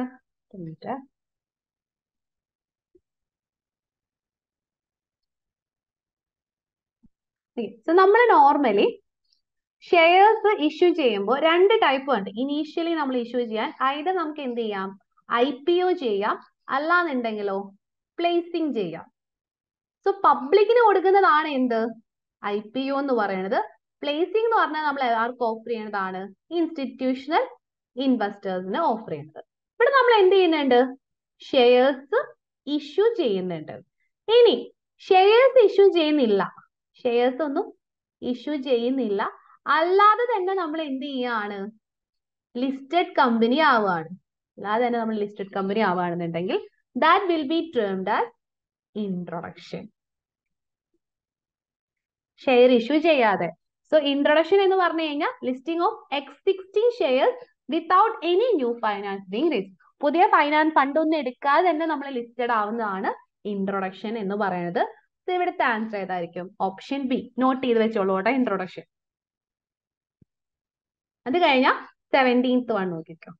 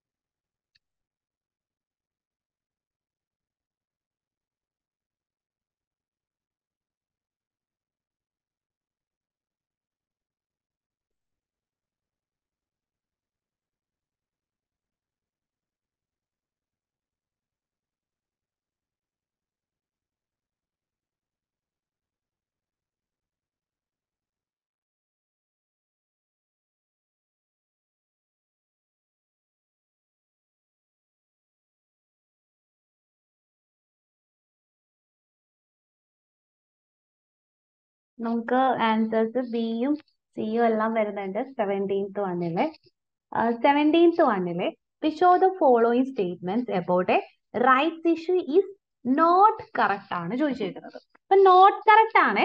correct അല്ല കേട്ടോ. The new shares are normally issued at a discount to the existing price that's true so അത് true ആണ് there will be no change in the share holders wealth rights issue offer ചെയ്ത് കഴിഞ്ഞാൽ share ഹോൾഡറിന്റെ വെൽത്തിൽ increase വരില്ലേ share പ്രൈസിൽ അവിടെ change വരുന്നുണ്ടാവും. ഷെയർ പ്രൈസ് ഡിക്രീസ് ആണ് ചെയ്യുന്നത് ഇൻക്രീസ് അല്ല. അപ്പൊ എനിവേ ചേഞ്ച് എന്ന് അവിടെ പറഞ്ഞിട്ടുണ്ട്. നമ്മളൊന്ന് ആലോചിച്ച് നോക്കി. ടി ആർ പി കാൽക്കുലേറ്റ് ചെയ്യുന്നില്ലേ? After right issue so T R P down അല്ലേ പോകുന്നേ? അപ്പൊ അത് അവിടെ എന്താണ്? ചേഞ്ച് വരുന്നുണ്ട് കേട്ടോ ഷെയർ ഹോൾഡേഴ്സ് വെൽത്തിൽ ആക്ച്വലി ടി ആർ പി പോയാലും അവിടെ നമ്പർ ഇതിൽ അത്യാവശ്യം അഡ്ജസ്റ്റ്മെന്റ് വരുന്നുണ്ട്. എന്നാലും ചെറിയ രീതിയിൽ ചേഞ്ച് വരും. അപ്പൊ ആ സ്റ്റേറ്റ്മെന്റ് കറക്റ്റ് ആണ്. ഇനി അടുത്തത്. Main purpose of right issue is to raise finance fund raise ചെയ്യാൻ വേണ്ടിയിട്ട് തന്നെയാണ് നമ്മൾ റൈറ്റ്സ് ഇഷ്യൂ ചെയ്യുന്നത്. റൈറ്റ്സ് ഇഷ്യൂ അല്ലാന്നുണ്ടെങ്കിൽ പിന്നെ എന്തിനാ ചെയ്യുന്നത് റൈറ്റ്സ് ഇഷ്യൂ ഫണ്ട് റേസ് ചെയ്യാൻ വേണ്ടി തന്നെയാണ് ചെയ്യുന്നത്. സോ ഓപ്ഷൻ സിയും ആണ്. Option D new shares must be issue to the existing share holders yes നമ്മൾ അങ്ങനെ പഠിച്ചിട്ടുള്ള റൈറ്റ് ഇഷ്യൂ എന്താണ്? എക്സിസ്റ്റിംഗ് ഷെയർ ഹോൾഡേഴ്സിനാണ് ഓഫർ ചെയ്യുന്നത് എന്നുള്ളത് അത് കറക്റ്റ് ആണ്. എക്സിസ്റ്റിംഗ് ഷെയർ ഹോൾഡേഴ്സിന് തന്നെ റൈറ്റ് ഇഷ്യൂ ഓഫർ ചെയ്യുന്നത് പക്ഷേ ഈ എക്സിസ്റ്റിംഗ് ഷെയർ ഹോൾഡേഴ്സിന് റൈറ്റ് ഇഷ്യൂ വേണ്ട. അവർക്ക് വേണ്ട എന്ന് തോന്നുകയാണ്. അങ്ങനെയാണെന്നുണ്ടെങ്കിൽ ഇവർക്ക് ഇത് എന്ത് ചെയ്യാം? വേറെയുള്ള ആൾക്കാർക്ക് ട്രാൻസ്ഫർ ചെയ്യാൻ പറ്റും. Initially rights issue will be offered to the existing share holders but അവരത് എടുത്തില്ല എന്നുണ്ടെങ്കിൽ അവരത് എക്സൈസ് ചെയ്തില്ല എന്നുണ്ടെങ്കിൽ അതർ ഇൻവെസ്റ്റേഴ്സിനെ ട്രാൻസ്ഫർ ചെയ്യുന്നുണ്ടായിരിക്കും. അപ്പൊ അതൊരു ന്യൂ പോയിന്റ് ആയിരിക്കും. അപ്പൊ അതൊന്ന് നോട്ട് ചെയ്തോളൂ. അപ്പൊ ഇതുകൊണ്ട് തന്നെ ഇവിടെ ഈ ഒരു സ്റ്റേറ്റ്മെന്റ് എന്താണ്? കറക്റ്റ് അല്ല. New shares must be issue to the existing share holders correct മാത്രമല്ല നീ അതർ ഇൻവെസ്റ്റേഴ്സിനും കൊടുക്കുന്നുണ്ടാവും. അപ്പൊ അതിന്റെ എക്സ്പ്ലനേഷൻ ഞാൻ ഇവിടെ താഴെ നോട്ട് ചെയ്തിട്ടുണ്ട്. Shares will be issued to whichever party exercise the right either the existing share holders ആദ്യം എക്സിസ്റ്റിംഗ് ഷെയർ ഹോൾഡേഴ്സിനെ കൊടുക്കുന്നത് എന്നിട്ട് അവർ കൊടുത്തില്ല എന്നുണ്ടെങ്കിൽ അവർക്ക് എന്ത് ചെയ്യാം? നമുക്ക് എന്ത് ചെയ്യാം? പുതിയ ഇൻവെസ്റ്റേഴ്സിനെ ഓഫർ ചെയ്യാം. ബിക്കോസ് നമുക്ക് കമ്പനിക്ക് ക്യാഷ് വേണ്ടേ. അപ്പൊ കമ്പനി ക്യാഷ് ആവശ്യത്തിന് വേണ്ടിയിട്ട് റൈറ്റ്സ് ഇഷ്യൂ ഓഫർ ചെയ്തു. എക്സിസ്റ്റിംഗ് ഷെയർ ഹോൾഡേഴ്സ് ഇത് എടുത്തില്ല എന്നുണ്ടെങ്കിലോ അപ്പൊ നമ്മൾ എന്ത് ചെയ്യും? പുതിയ ഇൻവെസ്റ്റേഴ്സിന് ഓഫർ ചെയ്യും. അതാട്ടോ അവിടുത്തെ പോയിന്റ് വരുന്നത് ക്ലിയർ അല്ലേ?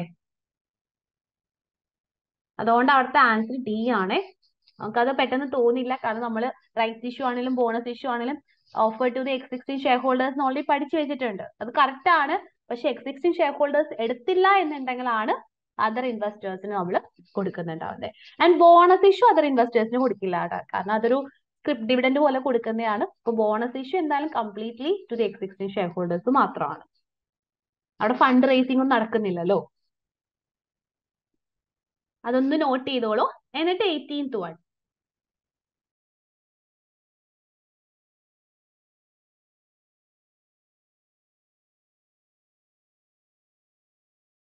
എയ്റ്റീൻത് വൺ കിട്ടിയോ? Which two of the following statements about a bonus or script issue are correct the new issues are issued at nominal value bonus issue free shares to the existing share holders ആണ്. Of course അത് nominal വാല്യൂയിൽ തന്നെയാണ് issue ചെയ്യുള്ളൂ.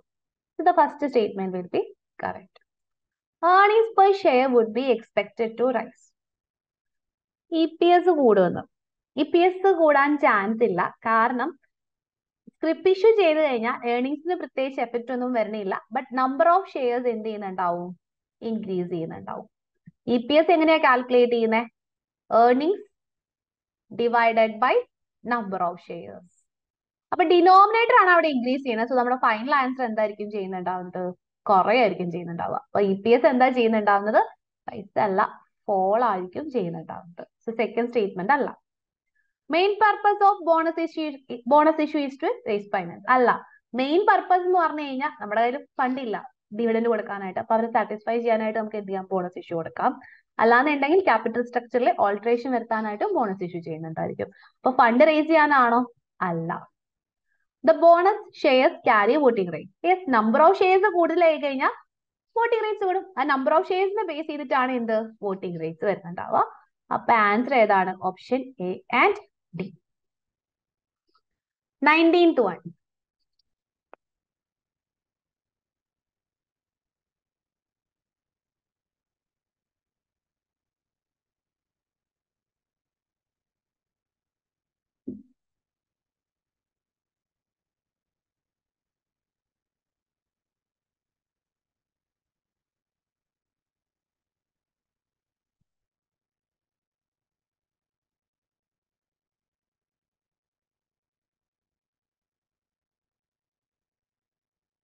nineteenth one crowd ഫണ്ടിങ്ങിനെ base ചെയ്ത് നമ്മൾ already പറഞ്ഞു crowd funding എന്ന് പറഞ്ഞു കഴിഞ്ഞാൽ കുറെ ആൾക്കാരുടെ കയ്യിൽ നമ്മൾ കളക്ട് ചെയ്യുന്നതാണെന്ന് അപ്പൊ crowd ഫണ്ടിങ്ങിൽ it involve either issuing shares or loans to large group of investors share based ആയിട്ടുള്ള എന്ത് വരാം? ക്രൗഡ് ഫണ്ടിങ് വരാം. സോ അത് correct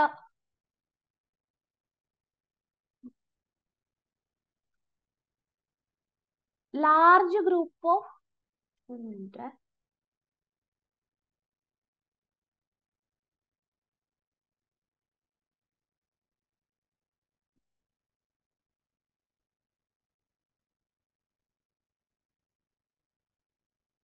യൂട്യൂബിൽ അപ്ലോഡ് ചെയ്യും. അത് എന്നാണെന്ന് എനിക്കറിയില്ല. അതവര് ചെയ്യും. ഇതിനൊരു ടു ഡേയ്സിന്റെ ഉള്ളിൽ എന്തായാലും ചെയ്യും. ഇവിടെ എന്താണ്?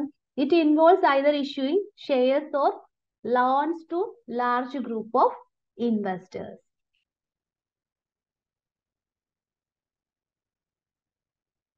നമ്മൾ ഓണർഷിപ്പ് ആയിരിക്കും കൊടുക്കുന്നുണ്ടാവുന്നത്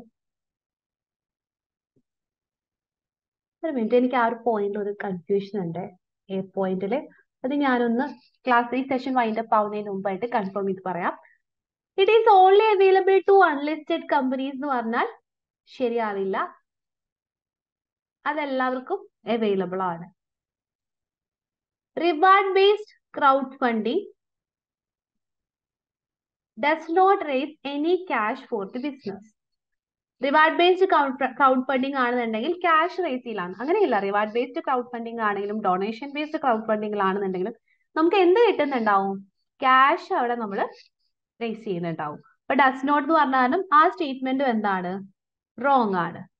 It is particularly appropriate for early state state finance state finance എന്ന് പറഞ്ഞു കഴിഞ്ഞാൽ നമുക്ക് ആദ്യമായിട്ട് ഫണ്ട് റേസ് ചെയ്യാനായിട്ടാണ് എപ്പോഴും ക്രൗഡ് ഫണ്ടിങ് നല്ലത്. ഇപ്പൊ എക്സിസ്റ്റിംഗ് ബിസിനസ്സിന് പിന്നെയും വേറെ ഫണ്ടുകൾ അവൈലബിൾ ആയിരിക്കും. ആദ്യം ഒരു ബിസിനസ് തുടങ്ങുന്ന സമയത്തായിരിക്കും നമുക്ക് ഫണ്ടിങ്ങിന് പ്രശ്നം വരുന്നുണ്ടാവുന്നത്. അപ്പൊ ഇത് ഫസ്റ്റ് സ്റ്റേജിലേക്കാണ് അപ്രോപ്രിയേറ്റ് ആവുക എന്നുള്ളത്. സോ ആ സ്റ്റേറ്റ്മെന്റ് എന്തായാലും കറക്റ്റ് ആണ്. Answer is option D A point ഞാൻ ലാസ്റ്റ് ഒന്ന് എക്സ്പ്ലെയിൻ ചെയ്ത് തരാം കേട്ടോ ഞാനതൊന്നിവിടെ മാറ്റി വെച്ചിട്ടുണ്ട് ആൻഡ് നെക്സ്റ്റ് ട്വന്റി ക്വസ്റ്റ്യൻ നോക്കിക്കോ.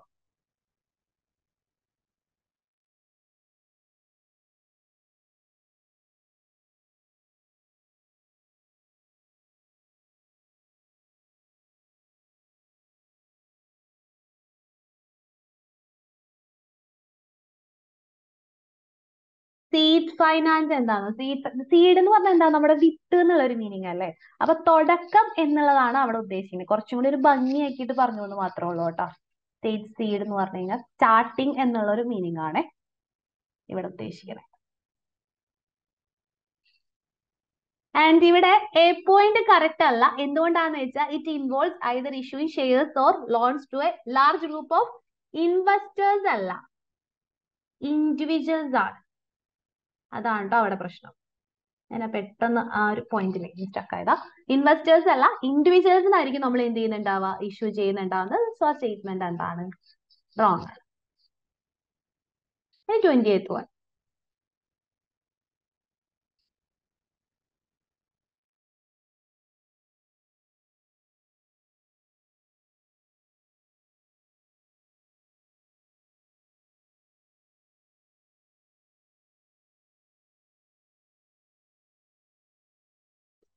Next one, uh, 20th one.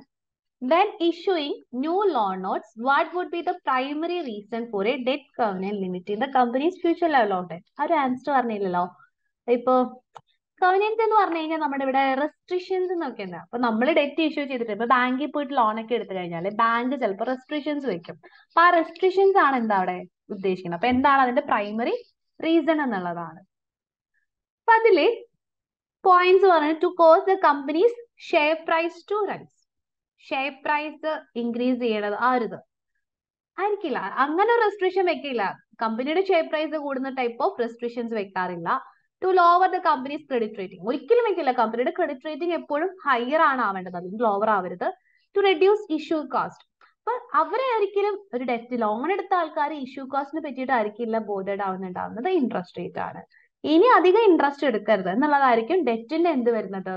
Restriction ആയിട്ട് വെക്കുക വരുന്നുണ്ടാവുക. So here the answer will be option D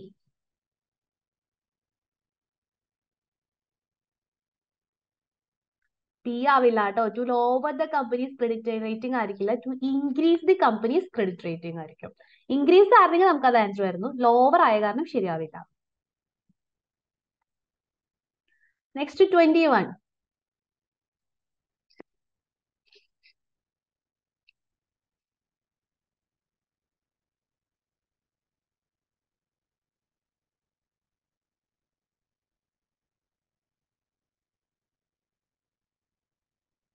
ഇവിടെ ഈ ക്വസ്റ്റ്യൻ ഒന്ന് ട്രിക്കി ആണ്. അതൊന്ന് ശ്രദ്ധിച്ചോളൂ. Twenty first one which of the following types of loan not is most likely to maintain a constant market value normally നമ്മുടെ market value എന്ത് ചെയ്യുന്നുണ്ടാവും? Change ചെയ്യുന്നുണ്ടാവും. നോമിനൽ വാല്യൂ ആണ് ചേഞ്ച് ചെയ്യാതിരിക്കുന്നത്. മാർക്കറ്റ് വാല്യൂ എന്ത് ചെയ്യുന്നുണ്ടാവും? ചേഞ്ച് ചെയ്തുകൊണ്ടേ ഇരിക്കും സീറോ കൂപ്പൺ എന്ന് പറഞ്ഞു കഴിഞ്ഞാൽ നമ്മൾ ഇഷ്യൂ ചെയ്തിട്ടുണ്ടാവുന്നത് കുറച്ച് ലോവർ പ്രൈസിലായിരിക്കും ഇൻട്രസ്റ്റ് ഇല്ല എന്ന് മാത്രമേ അവിടെ വരണുള്ളൂ. അവിടെ മാർക്കറ്റ് വാല്യൂ കോൺസ്റ്റന്റ് ആവണമെന്നില്ല. വേരിയബിൾ ഇൻട്രസ്റ്റ് റേറ്റിന്റെ സിറ്റുവേഷനിലായിരിക്കും മാർക്കറ്റ് വാല്യൂ എന്താവുന്നുണ്ടാവുന്നത്? ലോവർ ആവുന്നുണ്ടാവുന്നത്. ബിക്കോസ് വേരിയബിൾ ഇൻട്രസ്റ്റ് ആണെങ്കിൽ ഇൻട്രസ്റ്റ് റേറ്റിൽ എന്ത് വരുന്നുണ്ട്? ഫ്ലക്ച്വേഷൻസ് വരുന്നുണ്ട്. സോ മാർക്കറ്റ് വാല്യൂവിൽ എന്തുണ്ടാവില്ല ഫ്ലക്ച്വേഷൻസ് ഇല്ല. എന്താണോ ഫ്ലക്ച്വേഷൻ വരുന്നത് അത് എവിടെ അഡ്ജസ്റ്റ് ചെയ്യുന്നുണ്ട്? ഇൻട്രസ്റ്റിൽ അഡ്ജസ്റ്റ് ചെയ്യുന്നുണ്ട്. അപ്പൊ മാർക്കറ്റ് വാല്യൂ എന്തായിരിക്കും? ഒരു ഫിക്സഡ് ആയിട്ടുള്ള ഒരു എമൗണ്ട് ആയിരിക്കും. അതിൽ അവിടെ ചേഞ്ച് വരില്ല. ഇറഡീമബിൾ ആണെങ്കിലും കൺവേർട്ടബിൾ ആണെങ്കിലും ഇൻട്രസ്റ്റ് എന്താണ്? ഫിക്സഡ് ആണ്. മാർക്കറ്റ് വാല്യൂ ആയിരിക്കും എന്ത് ചെയ്യുന്നുണ്ടാവുക? വേരി ചെയ്യുന്നുണ്ടാവുന്നത്. ഇവിടെ ആൻസർ ബി ആണ്. അതൊന്ന് നോട്ട് ചെയ്തോളൂ. വേരിയബിൾ റേറ്റ് ഡെറ്റിന്റെ ആണെന്നുണ്ടെങ്കിൽ എപ്പോഴും ഒരു വാല്യൂ എന്ത് ചെയ്യുന്നുണ്ടാവും? മെയിന്റെയിൻ ചെയ്യുന്നുണ്ടാവും. വേരിയബിൾ ഡെറ്റ് ആണെന്നുണ്ടെങ്കിൽ വേരിയബിൾ റേറ്റ് ഉള്ള ഡെറ്റ് ആണെന്നുണ്ടെങ്കിൽ market value will be constant അതൊന്ന് നോട്ട് ചെയ്തോളൂ കേട്ടോ.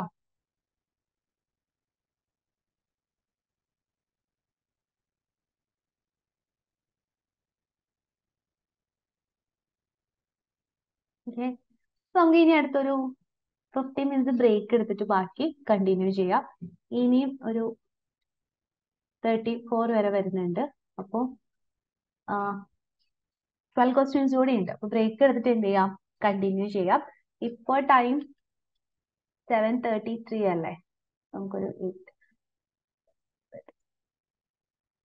ഒരു സെവൻ ഫോർട്ടി ഫൈവ് ആവുമ്പോൾ സെവൻ ഫിഫ്റ്റി ആവുമ്പോൾ സ്റ്റാർട്ട് ചെയ്യാം.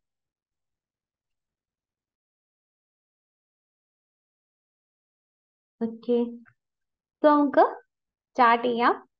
Okay question number twenty one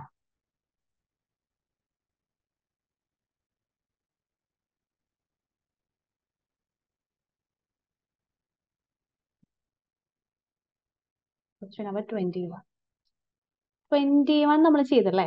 Twenty two next question question number twenty two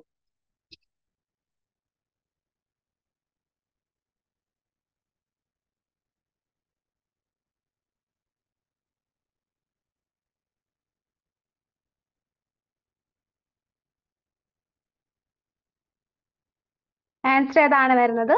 D അല്ലേ? Which of the following is the correct definition of a warrant warrant എന്ന് പറഞ്ഞാൽ just options ആണ്. Warrant ആണെന്ന് പറഞ്ഞാൽ options ആണ്? ഇവിടെ അങ്ങനെ ഓപ്ഷൻ എന്നുള്ള രീതിയിൽ ഏതാ വരുന്നുള്ളൂ? The last one share option attach to date house അപ്പൊ അറിയാത്തവരുണ്ടെങ്കിൽ നോട്ട് ചെയ്തോളൂ. വാറന്റ് എന്ന് പറഞ്ഞാൽ എന്താണ്? ഇവിടെ ഓപ്ഷൻസ് എന്നുള്ളത് മീനിങ് തന്നെ. Answer will be D next one twenty three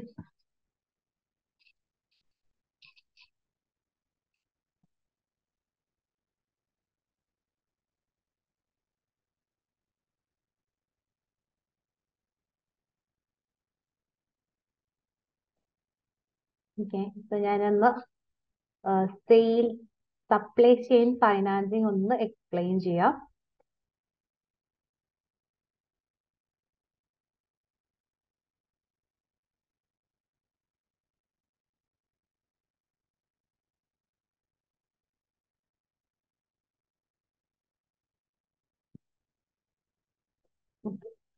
supply chain financing എന്ന് പറഞ്ഞു കഴിഞ്ഞാൽ ഇപ്പൊ നമ്മൾ ഒരു ഫാക്ടറിങ് എടുക്കില്ല. അതിന്റെ ഒരു റിവേഴ്സ് ഫാക്ടറിങ് ആണ് എന്ത് വരുന്നത്? സപ്ലൈ ചെയിൻ ഫൈനാൻസിങ് ജസ്റ്റ്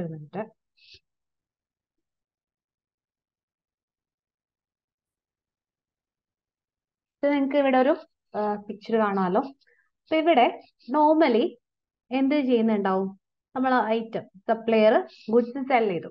അപ്പൊ സപ്ലയർ കസ്റ്റമേഴ്സിന് എന്ത് ചെയ്തു? ഗുഡ്സ് സെല്ല് ചെയ്തു. അപ്പൊ ഗുഡ്സ് സെല്ല് ചെയ്ത ഇവർക്ക് ഇനി എന്ത് വരുന്നുണ്ട്? റിസീവേഴ്സ് വരും. അതേപോലെ കോർപ്പറേറ്റ് എന്ത് ചെയ്യാനുണ്ട്? പേ ചെയ്യാനായിട്ട് വരും. അപ്പൊ ഇവർ ക്രെഡിറ്റ് പീരീഡ് എങ്ങാനും ആയിരിക്കും. എന്തായാലും പേയ്മെന്റ് ഇപ്പോ വേണമെന്ന് സപ്ലയർ പറയാണ് പക്ഷെ കമ്പനിയുടെ കയ്യിൽ അല്ലെങ്കിൽ കസ്റ്റമേഴ്സിന്റെ കയ്യിൽ പേ ചെയ്യാനായിട്ട് ക്യാഷ് ഇല്ലാത്തതുകൊണ്ട് കസ്റ്റമേഴ്സ് എന്ത് ചെയ്യുവാണ്? ഒരു ഫൈനാൻഷ്യറിനെ സെറ്റ് ആക്കി കൊടുക്കുകയാണ് സപ്പോസ് തൗസൻഡ് ഡോളറിന്റെ ഗുഡ്സ് ആണ് നമ്മൾ ഇൻവോയ്സ് ചെയ്തതെന്ന് വിചാരിക്കാം. തൗസൻഡ് ഡോളറിന്റെ ഗുഡ്സ് ആണ് ഇൻവോയ്സ് ചെയ്തേക്കുന്നത്. ഈ തൗസൻഡ് ഡോളറിലെ ഫുൾ എമൗണ്ടും ഫൈനാൻഷ്യലും നമുക്ക് തരില്ല. മേ ബി ആ ഡിസ്കൗണ്ട് എല്ലാം കഴിഞ്ഞ് ഫൈനാൻഷ്യൽ നമുക്ക് എത്രയായിരിക്കും തരണേ? നയൻ ഫിഫ്റ്റി എത്രയാണോ ക്രെഡിറ്റ് പീരീഡ് ഒരു മാസം രണ്ടു മാസം ക്രെഡിറ്റ് പീരീഡ് ഒക്കെ കഴിഞ്ഞു കഴിഞ്ഞാൽ കമ്പനി എന്ത് ചെയ്തോളും? സെറ്റിൽമെന്റ് ചെയ്തോളും ഫൈനാൻഷ്യർക്ക് തൗസൻഡ് ഡോളർ അപ്പൊ ഇവിടെ നമുക്ക് ക്യാഷ് ആവശ്യമുണ്ട്. ആർക്ക്? നമ്മൾ സെൽ ചെയ്ത ആൾക്കാർക്ക് ക്യാഷ് ആവശ്യമുണ്ട്. പക്ഷെ ക്യാഷ് നമ്മുടെ പർച്ചേസ് ചെയ്ത ആൾ തരാതെ അവർ തന്നെ എന്ത് ചെയ്യാണ്? നമുക്കൊരു ഫൈനാൻഷ്യറിനെ സെറ്റ് ആക്കി തരുവാണ്. അങ്ങനെ വരുന്നതാണ് എന്ത്? സപ്ലൈ ചെയിൻ ഫൈനാൻസിങ് അങ്ങനെയാണെന്നുണ്ടെങ്കിൽ ഇത് ഏതാണ് വരിക? സപ്ലൈ ചെയിൻ ഫൈനാൻസ് ഇവിടെ. Selling a sales invoice to a customer's bank for immediate bank customer അല്ലേ ചെയ്യുന്നത് സപ്ലയർ അല്ല ചെയ്യുന്നുണ്ടാവുന്നത്. കസ്റ്റമർ ആണ് എന്ത് ചെയ്യുന്നുണ്ടാവുന്നത്? സപ്ലൈ ചെയിൻ ഫൈനാൻസിംഗിൽ എന്റർ ചെയ്യുന്നുണ്ടാവുന്നത്. അതൊന്ന് പ്രത്യേകം ശ്രദ്ധിച്ചോളൂ. കസ്റ്റമർ ആണ് സപ്ലൈ ചെയിൻ ഫൈനാൻസിങ് ചെയ്യുന്നുണ്ടാവുക എന്നുള്ളത്. So here the answer will be option C note ചെയ്തോളൂടാ doubts ഉണ്ടോ?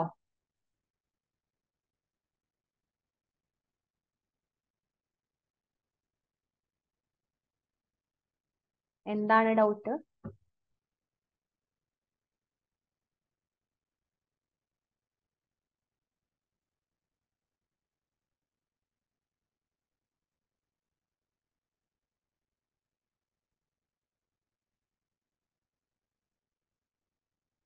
supply chain finance supply chain finance എന്ന് പറഞ്ഞാൽ നമുക്ക് ഫണ്ട് ആവശ്യം വരാണ്. ഇവിടെ നിങ്ങൾക്ക് ഈ ഒരു പിക്ചർ റെഫർ ചെയ്താൽ മതി. ഇപ്പൊ നമ്മൾ സപ്ലയർ എന്ത് ചെയ്തിട്ടുണ്ട്? ഗുഡ്സ് സെൽ ചെയ്തിട്ടുണ്ട്. അതാണ് അവിടെ ഫസ്റ്റ് സ്റ്റെപ്പ് ഗുഡ്സ് സെൽ ചെയ്ത് വേർത്ത് തൗസൻഡ് ഡോളർ അപ്പൊ മേ ബി ഒരു ക്രെഡിറ്റ് പീരീഡ് എങ്ങാനും കൊടുത്തിട്ടുണ്ടാവുമായിരിക്കും. അപ്പൊ നമുക്ക് പക്ഷേ സപ്ലയർക്ക് പെട്ടെന്ന് ഇപ്പൊ തന്നെ ക്യാഷ് വേണം. They need cash immediately already credit period ഉണ്ട്. എന്നിട്ടാണ് അവർക്ക് എന്ത് വേണ്ടത്? ക്യാഷ് പീരീഡ് വേണ്ടത്. സപ്പോസ് ക്രെഡിറ്റ് പീരീഡ് ഒരു വൺ മന്ത് ആണെന്ന് വിചാരിക്കാം. അങ്ങനെയാണെന്നുണ്ടെങ്കിൽ കസ്റ്റമറിന്റെ അടുത്ത് സംസാരിക്കുമ്പോൾ അവർ തമ്മിൽ ഒരു എഗ്രിമെന്റ് വരുമ്പോൾ കസ്റ്റമർ എന്ത് ചെയ്തു? കസ്റ്റമർ ഒരു ഫൈനാൻഷ്യറിന്റെ അടുത്ത് പോയി സെറ്റ് ആക്കിയിട്ട് ഈ ഫൈനാൻഷ്യറിന്റെ കയ്യിൽ നിന്ന് എമൗണ്ട് ആർക്ക് കൊടുക്കാണ്? സപ്ലയർക്ക് കൊടുക്കാണ്. സോ ഫൈനാൻഷ്യറിന്റെ അടുത്തേക്ക് ആരാണ് പോകുന്നത്? The customer is approaching the financier എന്നിട്ട് ഇവിടെ ഈ ഇൻവോയ്സ് എല്ലാം കാണിച്ച് on behalf of the invoice amount financial will give cash at a discount to the supplier അപ്പൊ ക്യാഷ് അറ്റ് ഡിസ്കൗണ്ട് എന്ന് പറയുമ്പോൾ തൗസൻഡ് ഡോളറിന്റെ വേർത്താണ് ഒരു ഐറ്റം ഉണ്ടായിരുന്നെങ്കിൽ. ആ ഫുൾ എമൗണ്ട് ആര് തരില്ല? ഫൈനാൻസ് തരില്ല. നയൻ ഫിഫ്റ്റി മാത്രം ആ ഒരു കുറഞ്ഞൊരു എമൗണ്ടേ തരുള്ളൂ. അത് കഴിഞ്ഞ് ഒരു മാസം ക്രെഡിറ്റ് പീരീഡ് ഉണ്ടായിരുന്നു. ആഫ്റ്റർ വൺ മന്ത് കസ്റ്റമർ എന്ത് ചെയ്തോളും? അവരുടെ ബാങ്കുമായിട്ട് സെറ്റിൽമെന്റ് ചെയ്തോളും. അത് സപ്ലയർ നോക്കേണ്ട ആവശ്യമില്ല. സോ സപ്ലയറിന് ഇപ്പൊ ക്യാഷ് ആവശ്യമുണ്ട്. കസ്റ്റമർ എന്ത് ചെയ്തിട്ടുണ്ട്? കസ്റ്റമറിന്റെ ബാങ്കിന്റെ അടുത്ത് പോയി സംസാരിച്ച് ആ ഒരു ബാങ്കിൽ നിന്ന് നമുക്ക് പൈസ മേടിച്ചു തന്നിട്ടുണ്ട്. പക്ഷെ നമുക്ക് ഫുൾ എമൗണ്ട് തരുന്നില്ല. ഓൺലി ദ ഡിസ്കൗണ്ടഡ് എമൗണ്ട് ആയിരിക്കും തരുന്നത്. That is supply chain financing so ഇവിടെ നമുക്ക് റിക്വയർമെന്റിൽ ഈ ഒരു സിറ്റുവേഷനിൽ ക്വസ്റ്റ്യനിൽ വരുമ്പോൾ ഇവിടെ അതിന് അപ്രോപ്രിയേറ്റ് ആയിട്ടുള്ള ആൻസർ ഏതാ പറഞ്ഞത് selling a sales invoice to a customer's bank for immediate payment കസ്റ്റമറിന്റെ ബാങ്കിനല്ലേ നമ്മൾ സെൽ ചെയ്തേ? എന്നിട്ട് നമ്മൾ എന്ത് ചെയ്യാണ്? പേയ്മെന്റ് ഇമ്മീഡിയറ്റ്ലി കിട്ടുവാണ്. സോ ഇമ്മീഡിയറ്റ്ലി പേയ്മെന്റ് കിട്ടുവാണെന്നുമ്പോ നമുക്ക് എന്താണ്? ആ ഒരു നീഡ് നടന്നു യെസ് സപ്ലയറിനാണ് അവിടെ ലോസ് വരുന്നുണ്ടാവുന്നത്. കാരണം സപ്ലയറിനാണ് ഇമ്മീഡിയറ്റ് പേയ്മെന്റ് വേണ്ടത്. ഓൾറെഡി അവിടെ ക്രെഡിറ്റ് പീരീഡ് ഉണ്ട്. എന്നിട്ട് ഇമ്മീഡിയറ്റ് പേയ്മെന്റ് നോക്കുമ്പോൾ loss will be suffered by suffered by the supplier അല്ലാതെ നമ്മുടെ കസ്റ്റമർ അല്ല ആ loss suffer ചെയ്യുന്നുണ്ടാവുന്നത്.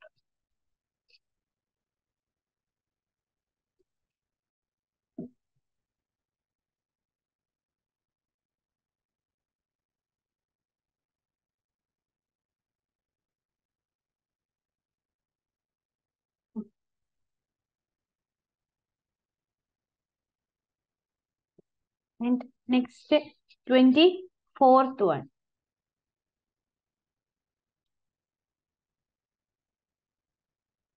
twenty ഫോർത്തിലെ which of the following is not true of peer to peer lending peer to peer എന്ന് പറഞ്ഞു കഴിഞ്ഞാൽ നമ്മുടെ ക്രൗഡ് ഫണ്ടിങ് അതിന്റെ വേറൊരു പേരാട്ടോ peer to peer P to P എന്ന് പറഞ്ഞാൽ പി എ ടു പി എന്ന് പറഞ്ഞു കഴിഞ്ഞാൽ ക്രൗഡ് ഫണ്ടിന്റെ ഒക്കെ ഒരു വേറൊരു പേരായിരിക്കും വരുന്നത്. നമ്മളെടുത്ത് ഇവിടെ എന്താ ചോദിച്ചിട്ടുള്ളത് നോട്ട് ട്രൂ ആണ് ചോദിച്ചേക്കുന്നത് സോ ക്വസ്റ്റ്യൻ നമ്പർ ഫോർ ഒന്ന് നോക്കാവോ?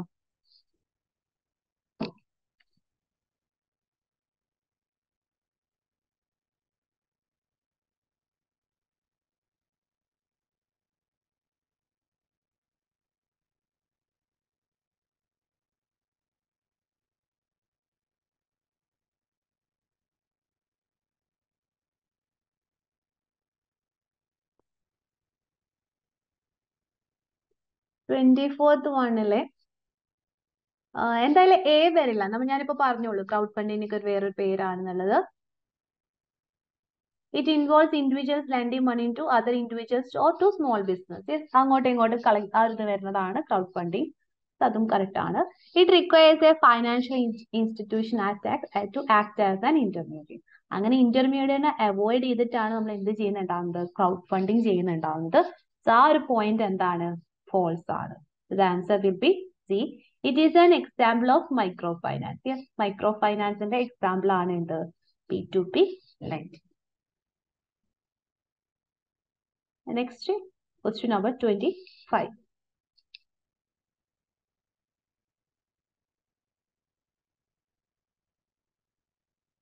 Supply chain finance is supply takes the invoice to supplier. Supplier takes the invoice to bank or customer എനിക്ക് ആ റിക്വയർമെന്റ് മനസ്സിലായില്ല. സപ്ലയർക്ക് ക്യാഷ് വേണം. കസ്റ്റമറിന്റെ ബാങ്കിൽ നിന്ന് കസ്റ്റമറിന്റെ ബാങ്കർ എന്ത് ചെയ്യുന്നുണ്ട്? സപ്ലയറിന് കൊടുക്കുന്നുണ്ട്. കസ്റ്റമർ ആണ് അവിടെ ഒരു ഫൈനാൻഷ്യൽ ഇന്റർമീഡിയറ്റിനെ സെറ്റ് ആക്കുന്നത്. സോ ആ ഒരു ഫൈനാൻഷ്യൽ ഇൻസ്റ്റിറ്റ്യൂട്ട് കസ്റ്റമറിന്റെ ബാങ്ക് സപ്ലയർക്ക് പൈസ കൊടുക്കും. സപ്ലൈ ചെയ്ത ആൾക്കാണ് പൈസ കിട്ടേണ്ടത്. They will get the money എനിക്ക് ആ റിക്വയർമെന്റ് മനസ്സിലായിട്ടില്ല. ഞാൻ സപ്ലൈ ചെയിൻ ഫൈനാൻസിങ്ങിന്റെ ഒരു പോയിന്റ് പറഞ്ഞു എന്ന് മാത്രമേ ഉള്ളൂ.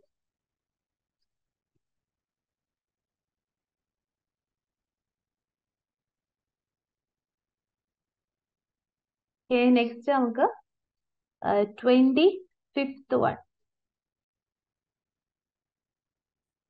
twenty fifth one അല്ലേ? ആ ഇതൊന്ന് നോട്ട് ചെയ്തോളൂ. ഇതിവിടെ നോർമൽ പ്രിഫറൻസ് ഷെയർസ് അല്ല.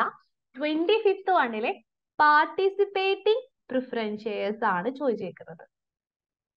ഇവിടെ വേർഡ് ഉണ്ട് കേട്ടോ. Participating preference shares So preference shares which has a right to be converted into ordinary shares at some future date. അത് കൺവേർട്ടബിൾ പ്രിഫറൻസ് shares ആണ്. ഇക്വിറ്റി ഷെയർസ് ആയിട്ട് കൺവേർട്ട് ചെയ്യുന്നുണ്ടെങ്കിൽ സോ അതല്ല participating ഇപ്പൊ പാർട്ടിസിപ്പേറ്റിംഗ് എന്ന് പറഞ്ഞാൽ എന്താണ്? A preference share which entitles to the holder to a guaranteed minimum dividend with the possibility of a additional amount so participating preference shares എന്ന് പറഞ്ഞാൽ ഈ ഒരു ഓപ്ഷൻ ആണ് വരിക എന്ന് പറഞ്ഞാൽ നമുക്കറിയാം പ്രിഫറൻസ് ഷെയർസ് പറയുമ്പോഴേ എന്ത് ഉണ്ടാവാറുണ്ട് ഒരു percentage six percentage preference shares ഇങ്ങനെയല്ലേ കാണുക അപ്പൊ ഈ സിക്സ് പെർസെന്റേജ് അവിടെ എന്താണ്? ഫിക്സഡ് ആണ്. അപ്പൊ നോർമൽ ആയിട്ട് ഒരു പ്രിഫറൻസ് ഷെയർസ് ആണെങ്കിൽ ഇത് മാത്രമേ കിട്ടുള്ളൂ. ഇഫ് നമ്മൾ പാർട്ടിസിപ്പേറ്റിംഗ് പ്രിഫറൻസ് ഷെയർസ് ആണ് എടുത്തേക്കണെന്നുണ്ടെങ്കിൽ ഈ ഫിക്സഡ് എമൗണ്ടും കിട്ടും. അത് കൂടാതെ കമ്പനിയുടെ പൊസിഷൻ എല്ലാം നോക്കിയിട്ട് എക്സ്ട്രാ ഡിവിഡൻഡിനും പോസിബിലിറ്റി ഉണ്ടാവും. അതിനെയാണ് നമ്മൾ എന്ത് വിളിക്കുന്നത്? പാർട്ടിസിപ്പേറ്റിംഗ് പ്രിഫറൻസ് ഷെയർസ് അതൊന്ന് നോട്ട് ചെയ്ത് വെച്ചോളൂ കേട്ടോ. Participating preference shares here answer will be the here answer will be option B ഇനി സി പോയിന്റ് എന്ന് പറഞ്ഞാൽ preference shares which carries forward the right to dividends if unpaid from one year to the next അതിപ്പോ participating ആവണമെന്നില്ല. Normal preference shares ആണെങ്കിൽ പോലും current ഇയറിൽ dividend കിട്ടിയില്ലെങ്കിൽ അത് അവർക്ക് അടുത്ത വർഷം എന്ത് ചെയ്യണം? കിട്ടണം. അപ്പൊ അത് നോർമൽ പ്രിഫറൻസ് ഷെയർസ് അങ്ങനെയാണ് പാർട്ടിസിപ്പേറ്റിംഗ് ആവണമെന്നില്ല. Preference shares which carries voting rights voting rights അല്ല പാർട്ടിസിപ്പേറ്റിംഗ് കാണുമ്പോൾ നമുക്ക് പെട്ടെന്ന് വോട്ടിംഗ് ആണെന്ന് തോന്നും. വോട്ടിംഗ് അല്ല കേട്ടോ. ഡിവിഡൻഡിന്റെ കാര്യത്തിൽ എക്സ്ട്രാ ഡിവിഡന്റ് കിട്ടുന്നതാണ് എന്ത്? പാർട്ടിസിപ്പേറ്റിംഗ് പ്രിഫറൻസ് ഷെയർസ് അത് നോട്ട് ചെയ്ത് വെക്കണേ. നോട്ട് ചെയ്തിട്ട് അടുത്തത് അവിടെ ഓൾറെഡി ഞാൻ ആൻസർ സിക്സ്റ്റീൻ പെർസെന്റേജ് ആണ് കൊടുത്തിട്ടുണ്ട്. എനിവേ നിങ്ങൾ അതൊന്ന് കാൽക്കുലേറ്റ് ചെയ്യാൻ നോക്ക്. Twenty six one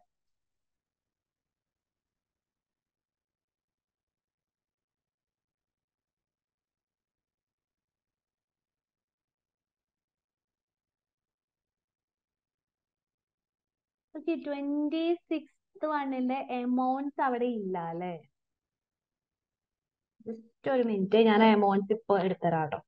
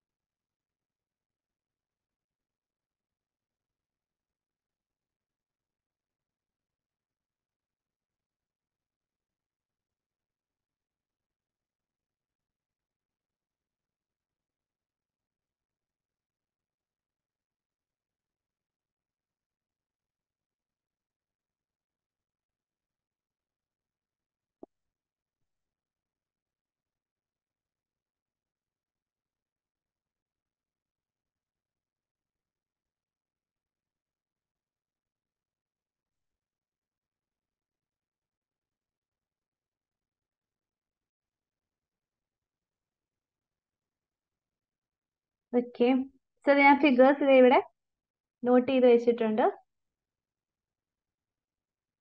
Dividend just paid point zero five annual growth rate ten percentage dividend cover two point five P E ratio eight cost of equity calculate ചെയ്യാനാണ് requirement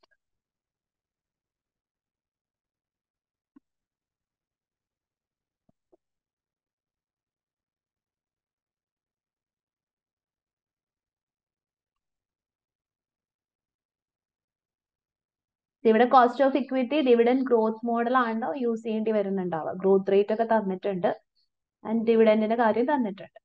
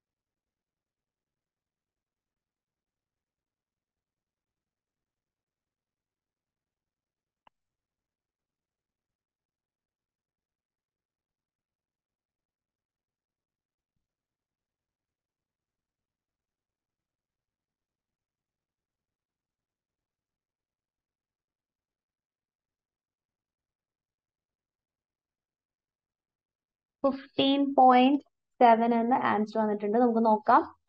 അപ്പൊ ഇവിടെ D one by P zero plus G ആണ് equation use ചെയ്യേണ്ടത്. Growth rate ആയിക്കോട്ടെ. D zero തന്നിട്ടുണ്ട് so we can compute D one easily so ഈ ഒരു പാർട്ടിൽ നമുക്ക് അത്ര പ്രശ്നം വരണില്ല. ഇനി അടുത്തത് പി സീറോ ഡയറക്ട്ലി തന്നിട്ടില്ല. പക്ഷെ എന്ത് തന്നിട്ടുണ്ട്? Dividend cover so what is the equation for dividend cover earnings divided by dividend അപ്പൊ ഞാനിവിടെ dividend cover two point four equal to earnings X divided by point zero five ഇട്ടു. അങ്ങനെ അവിടുന്ന് solve ചെയ്ത് കഴിഞ്ഞാൽ ഏർണിംഗ്സ് ഫിഗർ എത്രയാന്ന് കിട്ടും? Point one two earnings figure point one two ആണ്. ഇനി അടുത്തത് പി റേഷ്യോ തന്നിട്ടുണ്ട്. പി റേഷ്യോ എത്രയാണ്? എയ്റ്റ് ആണ്. പി റേഷ്യോ ബേസ് ചെയ്ത് നമുക്ക് ഷെയർ പ്രൈസ് കണ്ടുപിടിക്കാൻ പറ്റും. P E multiplied with the earnings എത്ര വരുന്നുണ്ടാവുന്നത് പോയിന്റ് നയൻ സിക്സ് ഇത് കിട്ടിക്കഴിഞ്ഞാൽ പിന്നെ നമുക്ക് എന്ത് ചെയ്യാം? കോസ്റ്റ് ഓഫ് ഇക്വിറ്റിയുടെ ഇക്വേഷനിൽ അപ്ലൈ ചെയ്ത് കൊടുക്കാം. So D one by P zero plus G cost of equity എത്ര വരും? ഫിഫ്റ്റീൻ പോയിന്റ് സെവൻ എന്നാണ് വന്നേക്കണേ. ടു ദി നിയറസ്റ്റ് പെർസെന്റേജ് എന്ന് പറഞ്ഞിട്ടുണ്ട്. സോ നമ്മുടെ ആൻസർ എത്രയായിരിക്കും? സിക്സ്റ്റീൻ പെർസെന്റേജ് നിങ്ങൾ ഫിഫ്റ്റീൻ പോയിന്റ് സെവൻ എന്ന് എഴുതിയാൽ മാർക്ക് കിട്ടില്ല. നിയറസ്റ്റ് പെർസെന്റേജ് എന്ന് പറഞ്ഞുകൊണ്ട് എക്സാക്റ്റ് ആയിട്ട് സിക്സ്റ്റീൻ തന്നെ വേണം അവിടെ ഇൻപുട്ട് ചെയ്ത് കൊടുക്കാൻ. അപ്പൊ ഇവിടെ ഡിവിഡൻ കവർ തന്നിട്ട് ഇക്വേഷൻ ഒന്ന് റിവേഴ്സ് ചെയ്യേണ്ട സിറ്റുവേഷൻ ഉണ്ട്. അതൊന്ന് ശ്രദ്ധിച്ച് നോക്കണേ. കംപ്ലീറ്റ് ആയവർ അടുത്ത ട്വന്റി സെവൻ നോക്കി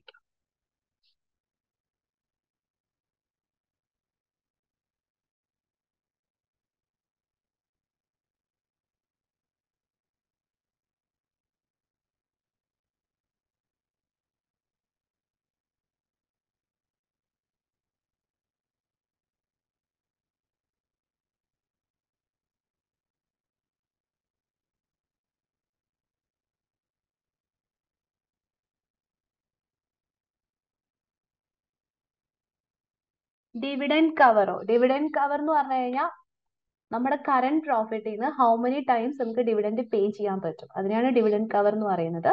സോ ഡിവിഡൻഡ് കവറിന്റെ ഇക്വേഷൻ എന്ന് പറഞ്ഞാൽ the earnings that is profit after tax after preference dividend divided by the dividend അപ്പൊ നിങ്ങൾക്ക് ടോട്ടൽ ബേസ് ചെയ്തിട്ട് എടുക്കാം. അല്ലാന്നുണ്ടെങ്കിൽ ഇ പി എസ് ഒരൊറ്റ ഷെയറിന്റെ ഏർണിംഗ്സ് ഉള്ള E P S divided by D P എസും ചെയ്യാം.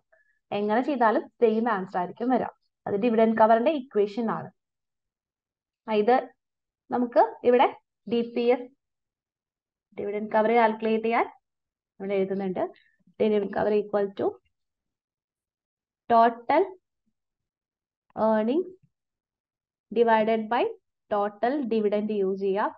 Or E P S divided by D P S use ചെയ്യാം. ഞാനിവിടെ യൂസ് ചെയ്തത് ഡി പി എസ് ആണ്. അതുകൊണ്ട് തന്നെ നമുക്ക് കിട്ടിയ ആൻസർ എന്തായിരിക്കും? ഇ പി എസ് ആയിരിക്കും. ഇക്വേഷൻസ് ആണ്. ആൻഡ് ട്വന്റി സെവൻത് ക്വസ്റ്റ്യൻ നല്ല സിമ്പിൾ ആയിട്ടുള്ള ഒരു ക്വസ്റ്റ്യൻ ആണ്. ഇവിടെ already the return on the loan note provide ചെയ്തിട്ടുണ്ട്. എപ്പോഴും ആലോചിക്കാം. Return on the loan note എന്ന് പറഞ്ഞു കഴിഞ്ഞാൽ return on the loan note എന്ന് വെച്ച് കഴിഞ്ഞാൽ ഇൻവെസ്റ്റർ എന്ന് പറഞ്ഞു കഴിഞ്ഞാൽ pre tax cost of the debt ആയിരിക്കും. വാലുവേഷന്റെ സിറ്റുവേഷനിലെല്ലാം നമ്മൾ പ്രീ ടാക്സ് ആയിരിക്കും യൂസ് ചെയ്യുന്നുണ്ടാവുന്നത് ആൻഡ് സോഴ്സ് ഓഫ് ഫൈനാൻസിലേക്ക് വരുമ്പോൾ കോസ്റ്റ് വരുമ്പോൾ എന്തായിരിക്കും? പോസ്റ്റ് ടാക്സ് ആയിരിക്കും വരുന്നുണ്ടാവുന്നത്. ഇവിടെ നമുക്ക് പ്രീ ടാക്സ് എത്രയാന്ന് ഓൾറെഡി തന്നിട്ടുണ്ട്. ദ ട്വൽവ് പെർസെന്റേജ് ആണെന്ന് പറഞ്ഞിട്ടുണ്ട്.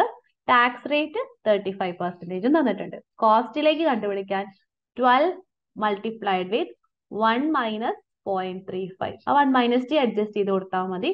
The answer will be seven point eight percentage simple ആയിട്ട് നിങ്ങൾക്ക് അവിടെ ചെയ്യാവുന്നതേ ഉള്ളൂ. അപ്പൊ ഇത്രയേ ഉള്ളൂ. Pre tax cost of debt multiplied with one minus T ചെയ്ത് കഴിഞ്ഞാൽ നിങ്ങൾക്ക് എന്ത് കിട്ടും? Post tax cost of debt ആയിട്ട്.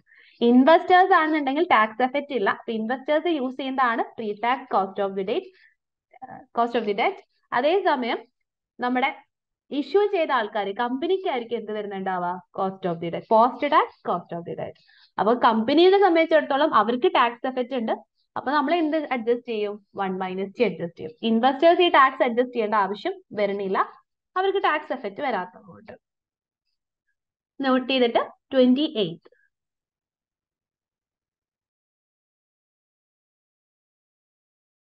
question number twenty സെവനിലെ ഇവിടെ നമ്മുടെ അടുത്ത് cost of the loan note ആണ് കാൽക്കുലേറ്റ് ചെയ്യാനായിട്ട് പറഞ്ഞേക്കുന്നത്. ഇൻവെസ്റ്റേഴ്സിനെ സംബന്ധിച്ചിടത്തോളം അവർക്ക് ടാക്സിന്റെ എഫക്റ്റ് വരില്ല. സോ ഇൻവെസ്റ്റേഴ്സിന്റെ റിട്ടേൺ എന്ന് പറഞ്ഞു കഴിഞ്ഞാൽ pre tax cost of the debt ആയിരിക്കും. അല്ലെങ്കിൽ റിട്ടേൺ ഓൺ ദി ഡെറ്റ് എന്ന് പറയാം. അറ്റ് ദ സെയിം ടൈം കമ്പനീനെ സംബന്ധിച്ചിടത്തോളം അവർക്ക് ടാക്സ് വരുന്നുണ്ട്. അവരുടെ കോസ്റ്റ് എന്ന് പറഞ്ഞു കഴിഞ്ഞാൽ post tax cost of the debt ആണ്.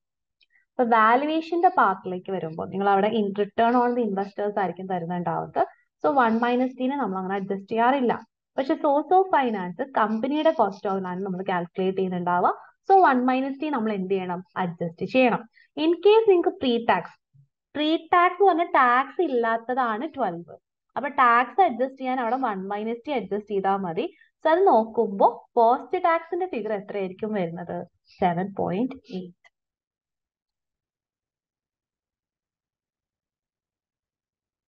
twenty seven clear ആണോ?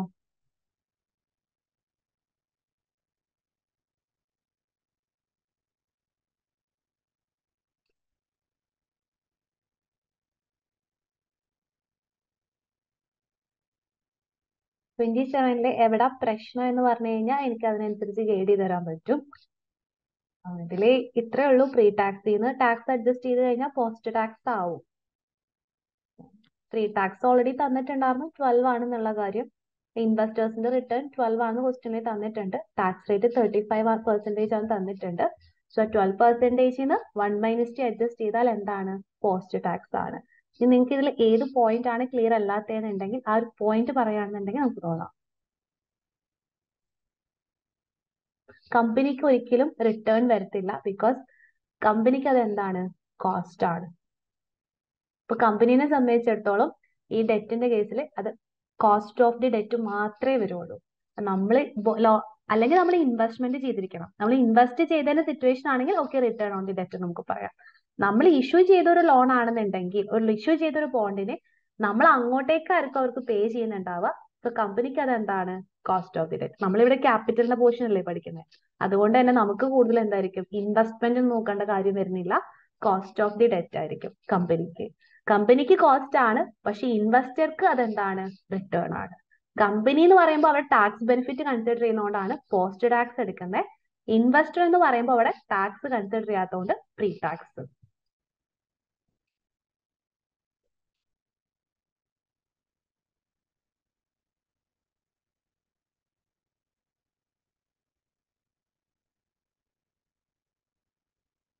ആൻഡ് ഇവിടെ ഇങ്ങനെ സോഴ്സ് ഓഫ് ക്യാപിറ്റൽ ഫൈനാൻസ് ആ ഒരു വാക്കിന് കാൽക്കുലേഷൻ ആ ഒരു ഏരിയയിൽ ഒരിക്കലും റിട്ടേൺ ഓൺ ദ കമ്പനി എന്ന് പറയില്ല. റിട്ടേൺ ഓൺ ദി ഇൻവെസ്റ്ററും കോസ്റ്റ് ഓഫ് ദി കമ്പനിയും അല്ല കോസ്റ്റ് ഓഫ് ദി ലോൺ കമ്പനിക്ക് കോസ്റ്റ് മാത്രമേ വരുള്ളൂ കേട്ടോ.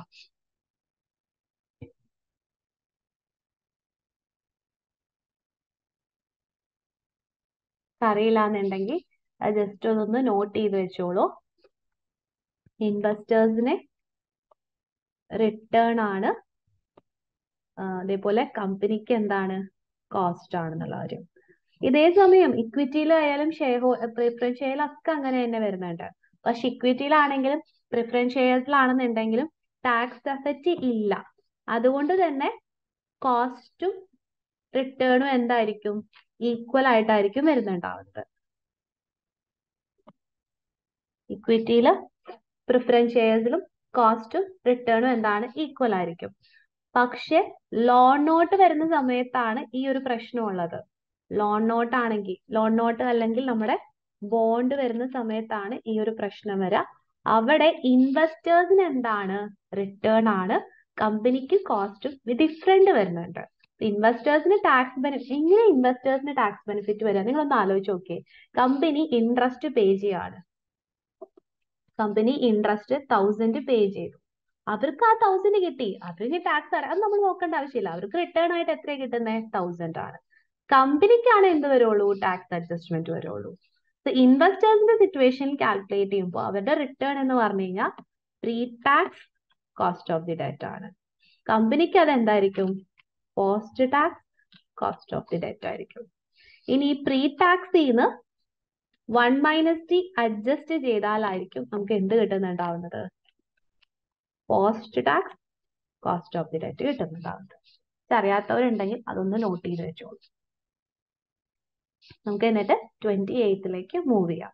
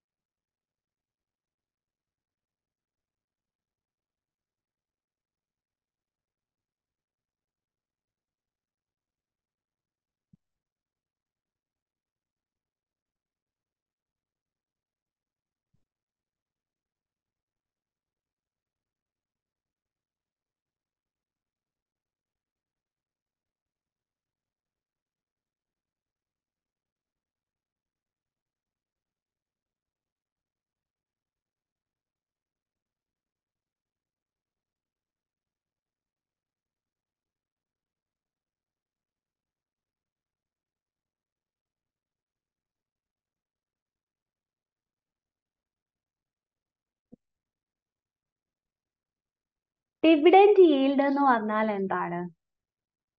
നമ്മൾ എത്രയാണോ ഇൻവെസ്റ്റ് ചെയ്തത് ആ ഇൻവെസ്റ്റ് ചെയ്തതിന് ഡിവിഡൻഡ് എന്ന് പറയുന്ന ഫോമിൽ നമുക്ക് റിട്ടേൺസ് കിട്ടിയതാണ് dividend yield. Always remember that the word yield yield എന്ന് പറയുന്ന വേർഡ് സ്റ്റാൻഡ് ചെയ്യുന്നത് റിട്ടേൺസിനെയാണ് yield stand for return so dividend yield calculate ചെയ്യാൻ ഡിവിഡൻഡ് ഡിവൈഡഡ് ബൈ ഇൻവെസ്റ്റ്മെന്റ് എടുക്കാം. അല്ലാന്നുണ്ടെങ്കിൽ പെർ ഷെയറിന്റെ കൺവേർട്ട് ചെയ്യുകയാണെങ്കിൽ D P S divided by P zero എടുക്കാം. നമ്മൾ അടുത്ത് ഇവിടെ ഡിവിഡൻഡ് yield ആണ് എന്ത് ചെയ്തിട്ടുണ്ടെങ്കിൽ കാൽക്കുലേറ്റ് ചെയ്യാനായിട്ട് പറഞ്ഞിട്ടുള്ളത്. ഇവിടെ ഡിവിഡൻഡ് ഈൽഡ് കാൽക്കുലേറ്റ് ചെയ്യുമ്പോൾ നമ്മൾ ഡിവിഡൻഡിന്റെ ആ ഒരു പോർഷൻ നോക്കുമ്പോൾ ഡി സീറോ നോക്കുമ്പോൾ നമുക്ക് ഇന്ററിയം ഡിവിഡൻഡ് ആയിട്ട് പോയിന്റ് സീറോ സിക്സ് ഇടയ്ക്ക് വെച്ച് പേ ചെയ്ത പോയിന്റ് സീറോ സിക്സ് ഉണ്ട്.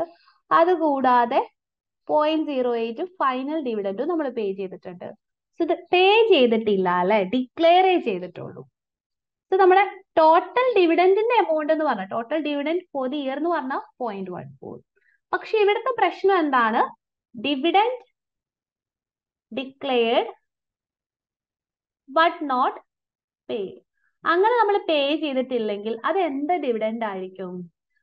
കം ഡിവിഡൻഡ് പ്രൈസ് വരും സോറി നമ്മളിവിടെ ഇങ്ങനത്തെ സിറ്റുവേഷൻ വരാണെങ്കിൽ ഇവിടുത്തെ ഷെയർ പ്രൈസ് എന്ന് പറഞ്ഞാൽ എന്തായിരിക്കും? കം പ്രൈസ് ആയിരിക്കും വരുന്നുണ്ടാവുന്നത്. അങ്ങനെ നമ്മൾ കം പ്രൈസ് ആണ് ഇവിടെ തന്നേക്കണേ. വൺ പോയിന്റ് എയ്റ്റ് ത്രീ അതിന് നമുക്ക് എന്തായിട്ട് മാറ്റണം? എക്സ് പ്രൈസ് ആയിട്ട് മാറ്റണം. സോ പി സീറോ എന്ന് പറയണത് നമ്മുടെ എക്സ് പ്രൈസ് ആയിട്ട് മാറ്റാൻ എന്ത് ചെയ്യണം? കറന്റ് ഇപ്പൊ എത്രയുണ്ട്? വൺ പോയിന്റ് എയ്റ്റ് ത്രീ അതിൽ നിന്ന് dividend declared point zero eight minus ചെയ്യണം. സോ അങ്ങനെ മൈനസ് ചെയ്ത എത്ര വരും? വൺ പോയിന്റ് സെവൻ ഫൈവ് വരും. നമുക്ക് ഡിവിഡൻഡ് ഈൽഡിന്റെ ഇക്വേഷനിൽ അപ്ലൈ ചെയ്ത് കൊടുക്കുകയാണെങ്കിൽ D zero dividend per share divided by D zero multiplied with hundred എത്ര വരുന്നുണ്ടാവും എയ്റ്റ് പെർസെന്റേജ് ഇവിടുത്തെ ആൻസർ എന്ന് പറഞ്ഞാൽ എയ്റ്റ്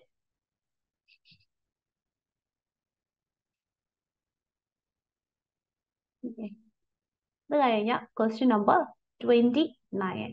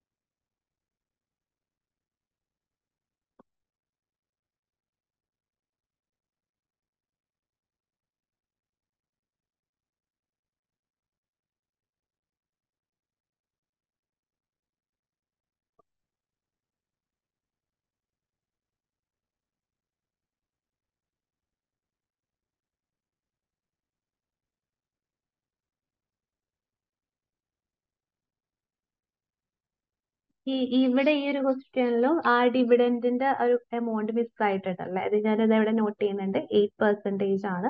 നിങ്ങൾക്ക് ഈ പി ഡി എഫ് ഷെയർ ചെയ്യുമ്പോഴേക്കും അത് സ്ക്രീനിലേക്ക് വരാം. അത് ഞാൻ കോപ്പി പേസ്റ്റ് ചെയ്താണ്. അപ്പൊ അങ്ങോട്ട് നീങ്ങിപ്പോയതാട്ടോ അപ്പൊ ഞാൻ ഇവിടെ കൊടുത്തിട്ടുണ്ട്.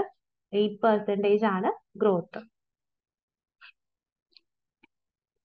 അതൊന്ന് ചെയ്ത് നോക്കിയിട്ട് വേഗം ഒന്ന് ആൻസർ പറഞ്ഞേ.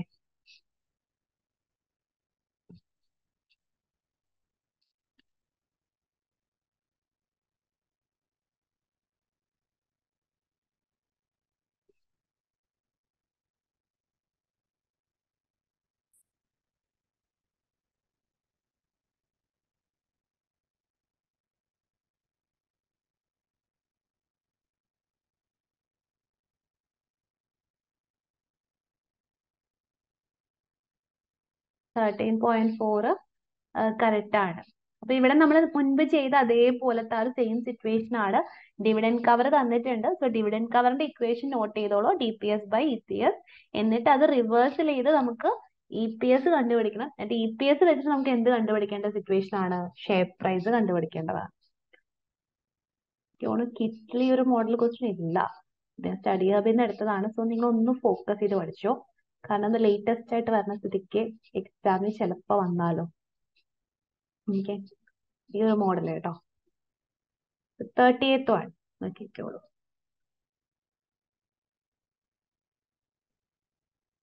ട്വന്റി നയൻ കംപ്ലീറ്റ് ചെയ്തിട്ട് തേർട്ടി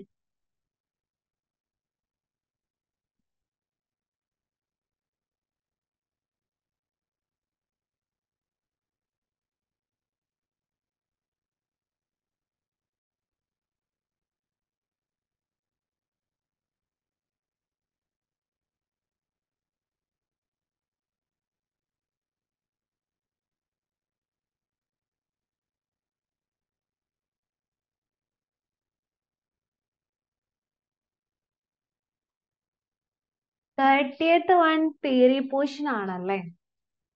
അത് സിമ്പിൾ ആണ്. Which of the following usually determines the optimal capital structure of an organization എന്നാണ് ചോദിച്ചേക്കുന്നത് ഒപ്റ്റിമൽ ക്യാപിറ്റൽ സ്ട്രക്ചർ ഓക്കെ നമുക്ക് എപ്പോഴും വാക്ക് എന്ത് ചെയ്യുന്നതാണ് നല്ലത്?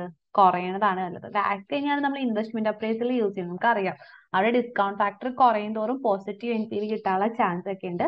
സോ നമുക്ക് എപ്പോഴും വാക്ക് മിനിമൈസ് ചെയ്യണതാണ് നല്ലത്. അപ്പൊ അങ്ങനെ നോക്കുന്ന ഒരു ആൻസർ വരുന്നത് option D maximum degree of financial gearing അതല്ല ഒപ്റ്റിമൽ ക്യാപിറ്റൽ സ്ട്രക്ചറിൽ ലോവസ്റ്റ് വാക്ക് ആണ്. ക്യാപിറ്റൽ സ്ട്രക്ചർ തിയറീസ് ഒക്കെ വാക്ക് എവിടെ വേണം എന്നുള്ളതാണ് നോക്കുന്നത് വാക്ക് എപ്പോഴും റെഡ്യൂസ് ചെയ്യേണ്ടാട്ടോ നമ്മുടെ optimal capital structure answer is C അടുത്തത് thirty one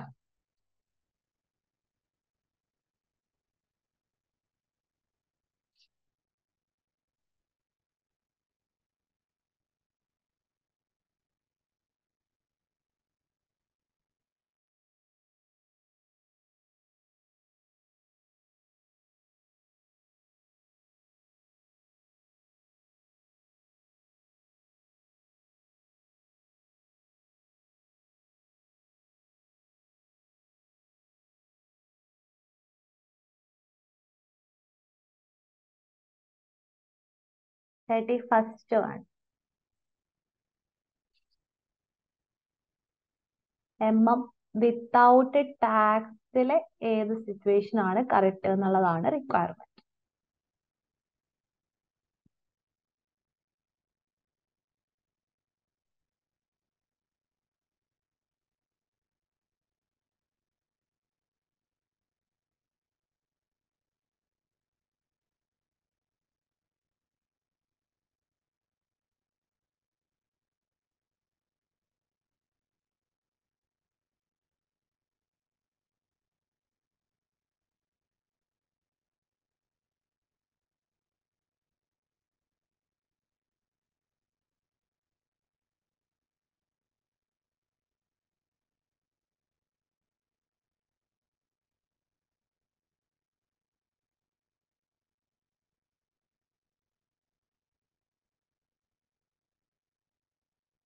thirty first one answer എന്താ പറഞ്ഞത് എം എം തിയറി വിത്തൗട്ട് ടാക്സിൽ ഏതാണ് കറക്റ്റ് എന്നുള്ളതാ? സി എന്ന് ആൻസർ വന്നിട്ടുണ്ട്. സി നോക്കുകയാണെങ്കിൽ the weighted average cost of capital is independent of capital structure without tax without tax നേരത്തെ നമ്മൾ ഇത് എവിടെയെങ്കിലും വരച്ചിരുന്നല്ലോ. വിത്തൗട്ട് ടാക്സിൽ വാക്ക് എന്താ പറഞ്ഞേ? ഇങ്ങനെ സെയിം ഒരു ലൈൻ അല്ലേ? വാക്ക് ക്യാപിറ്റൽ സ്ട്രക്ചർ എങ്ങനെ വേണേലും ചേഞ്ച് ചെയ്തോട്ടെ. ഗിരിങ് ലെവൽ എങ്ങനെ വേണേലും ചേഞ്ച് ചെയ്തോട്ടെ. വാക്ക് അവിടെ സെയിം ആണ്. ആൻസർ സി എന്താണ്? കറക്റ്റ് ആണ്. കോസ്റ്റ് ഓഫ് ഇക്വിറ്റി അങ്ങനെയാണോ? അല്ല കോസ്റ്റ് ഓഫ് ഇക്വിറ്റി ഒരു അപ്വേർഡ് ഗ്രാഫ് ഗ്രാഫ് അപ്വേർഡ് ആയിട്ടുള്ള ലൈൻ ആണ്. Value of company rises as the gearing rises gearing കൂടിയ വാല്യൂ കൂടുന്നൊന്നുമില്ല. തിയറി ഇഗ്നോസ് ഫൈനാൻഷ്യൽ റിസ്ക് ഇല്ല. ഫൈനാൻഷ്യൽ റിസ്ക് അല്ലേ നമ്മുടെ ഇക്വിറ്റി ആൻഡ് ഡെറ്റിന്റെ പ്രൊപ്പോർഷൻ അപ്പോ അത് നമ്മൾ ഇഗ്നോർ ചെയ്യുന്നില്ല. ഫൈനാൻഷ്യൽ റിസ്ക് നമ്മൾ എന്ത് ചെയ്യുന്നുണ്ട്? കൺസിഡർ ചെയ്യുന്നുണ്ട്. സോ ഈ സ്റ്റേറ്റ്മെന്റ് എന്താണ് റോങ് ആണ്. The answer will be option C and next one thirty two thirty two എല്ലാവരും ഒന്ന് ശ്രദ്ധിക്കണേ. തേർട്ടി ടു കാൽക്കുലേറ്റ് ചെയ്യുന്ന സമയത്ത് ഇവിടെ റിസ്ക് ഫ്രീ റേറ്റ് തന്നിട്ടുണ്ട്. മാർക്കറ്റ് പ്രീമിയം നമ്മുടെ ക്യാപ്പത്തിന്റെ ഇക്വേഷൻ ആണ് അവിടെ അപ്ലൈ ചെയ്യേണ്ടത്. ക്യാപ്പ് അപ്ലൈ ചെയ്യുമ്പോൾ R F plus beta equity multiplied with R F minus R F E R minus R F അതാണ് നമ്മുടെ റിസ്ക് പ്രീമിയത്തിന്റെ പോഷൻ ആ പ്രീമിയം ആണ് അവിടെ നമുക്ക് ഡയറക്റ്റ് ആയിട്ട് തന്നേക്കണത് എത്രയാണ്? സിക്സ് പോയിന്റ് ഫൈവ് ആണെന്നുള്ളത്. ഇനി ഇവിടെ ആർ എഫും തന്നിട്ടുണ്ട് ത്രീ ആണെന്നുള്ളത്. കോസ്റ്റ് ഓഫ് ഇക്വിറ്റി കണ്ടുപിടിക്കണം. If it redeems all outstanding debt so debt ഇല്ല. ജസ്റ്റ് ഒരു മിനിറ്റ്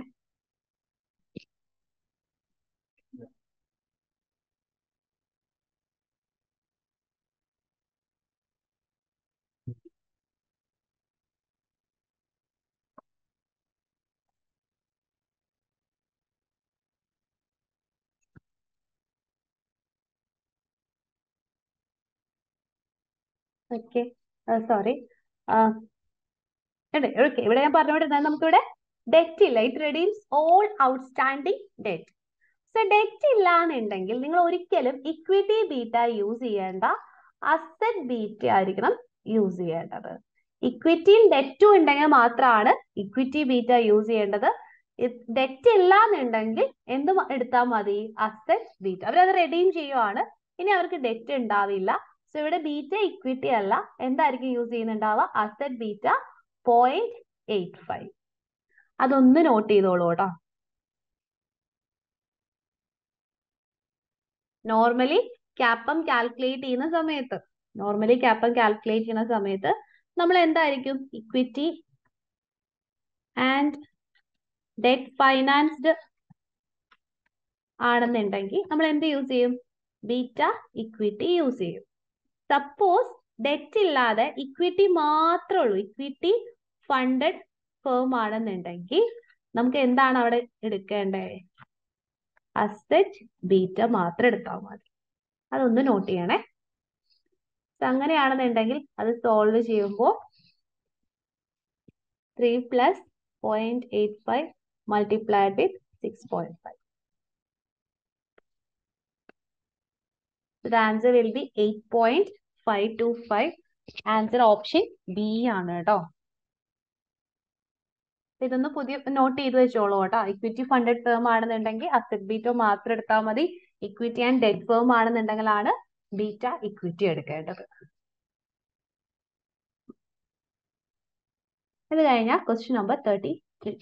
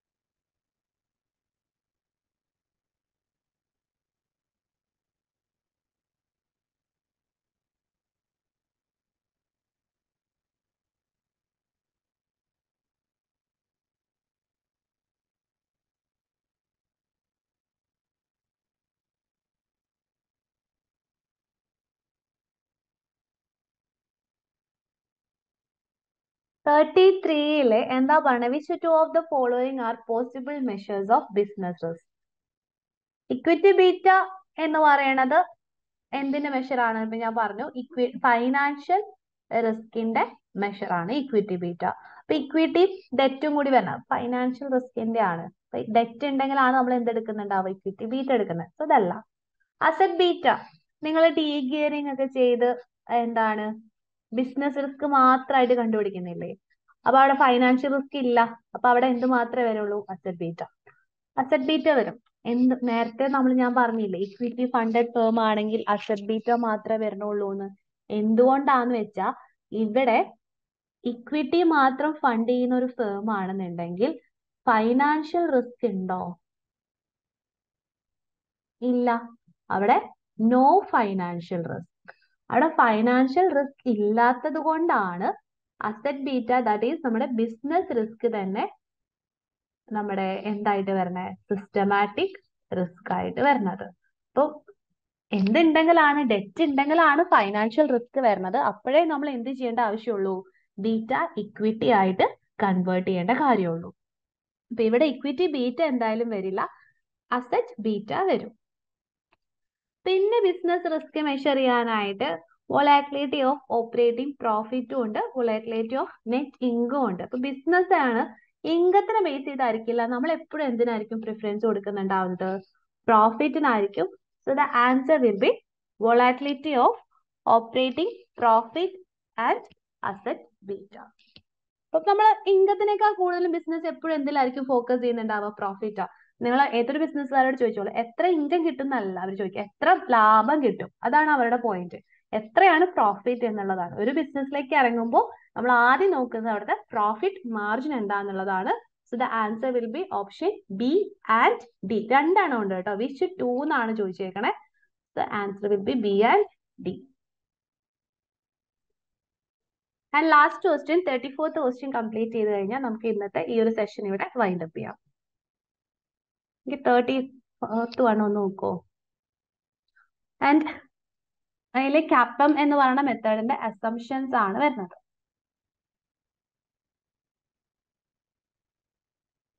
അത് സിമ്പിൾ ആണ്. വേഗം ഒന്ന് നോക്കിയിട്ട് പറഞ്ഞേ.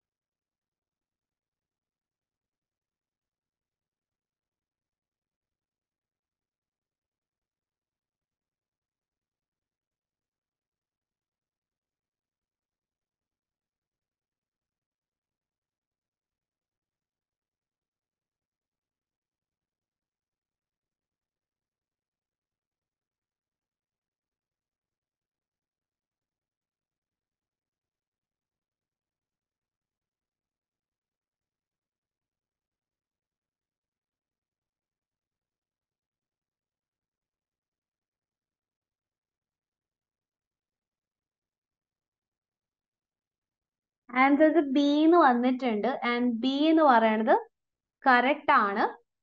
അസംഷൻസ് ഓഫ് ദി ക്യാപ്പം ആണ് ചോദിച്ചേക്കുന്നത്. ക്യാപ്പം റിസ്ക് സിസ്റ്റമാറ്റിക് റിസ്ക് എല്ലാം അങ്ങനെയല്ല. റിസ്ക് ഇൻക്രീസ് ചെയ്താൽ നമ്മുടെ റിട്ടേൺസ് കൂടും. അതാണ് ക്യാപ്പത്തിന്റെ അണ്ടർലൈങ് ആയിട്ടുള്ള അസംഷൻ തന്നെ. സോ ഫസ്റ്റ് വൺ വരും. ഡിവിഡൻഡ് ഗ്രോത്ത് വരും അത് ഡിവിഡൻഡ് മോഡലിന്റെ അസംഷൻസ് ആണ്. സോ ഡിവിഡൻഡും ക്യാപ്പും തമ്മിൽ ഒരു ബന്ധവുമില്ല.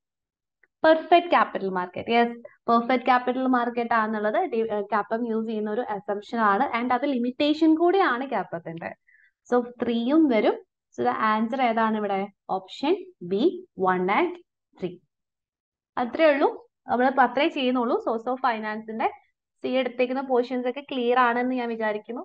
ഇതൊക്കെ അത്യാവശ്യം എനിക്ക് തോന്നിയത് അത്യാവശ്യം കുഴപ്പമില്ലാത്ത ക്വസ്റ്റ്യൻസ് ആണ് ഇതൊക്കെ. ഇതൊക്കെ നിങ്ങൾക്ക് ചെയ്യാൻ പറ്റുന്നുണ്ടെങ്കിൽ നിങ്ങൾക്ക് ഓൾമോസ്റ്റ് കോൺഫിഡന്റ് ആയിട്ട് തന്നെ പോവാം.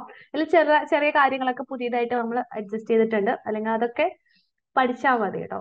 Okay any doubts from the source of finance part ഇനി ആർക്കെങ്കിലും എന്തെങ്കിലും സ്പെസിഫിക് ആയിട്ട് സോഴ്സ് ഓഫ് ഫൈനാൻസിന്റെ പാർട്ടിൽ നിന്ന് ഡൗട്ട്സ് ഉണ്ടെങ്കിൽ നിങ്ങൾക്ക് ചോദിക്കാം. യൂട്യൂബ് വീഡിയോ ലിങ്ക് ഞാനായിരിക്കില്ല. അത് അഡ്മിൻസ് ആയിരിക്കും ഷെയർ ചെയ്യുന്നുണ്ടാവുന്നത് ഞാനല്ല ചെയ്യുക അതവിടെ വേറൊരു ടീം ഉണ്ട് ഇവിടെ.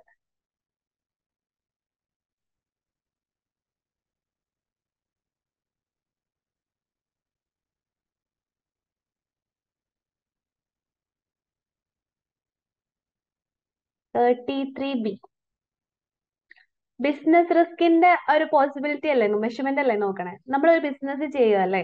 നമ്മൾ ബിസിനസ് ചെയ്യുവാണെന്നുണ്ടെങ്കിൽ ആദ്യം കൺസേൺ ആവുന്ന ഒരു കാര്യമല്ലേ? പ്രോഫിറ്റ് കിട്ടുമോ നമ്മൾ നമ്മൾ ആരോ ബിസിനസ്സിലേക്ക് നമ്മൾ ഇറങ്ങുവാണെന്നുണ്ടെങ്കിൽ ആ അവിടെ പോയ പ്രോഫിറ്റ് കിട്ടുമോ എന്നുള്ളത് നമുക്ക് അറിയണ്ടേ അപ്പൊ possible measures of business risk ആണ്. അപ്പൊ ബിസിനസ് റിസ്ക് മെഷർ ചെയ്യുന്ന സമയത്ത് ഡെഫിനറ്റ്ലി നമ്മുടെ പ്രോഫിറ്റ് വോളാറ്റിൽ ആവോ എന്നുള്ളത് നമ്മൾ എന്ത് ചെയ്യും? ചെക്ക് ചെയ്യും.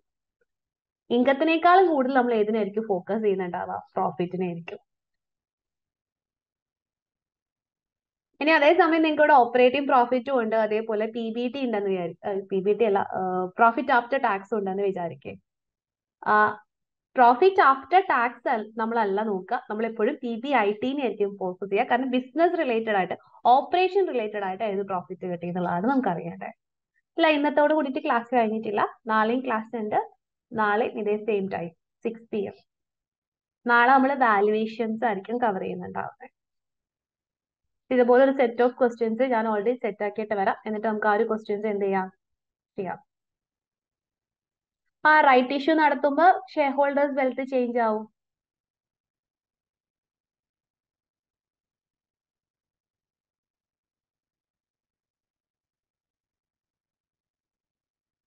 ഞാനും ചേഞ്ച് ആവുന്നാണല്ലോ പറഞ്ഞിരുന്നേ.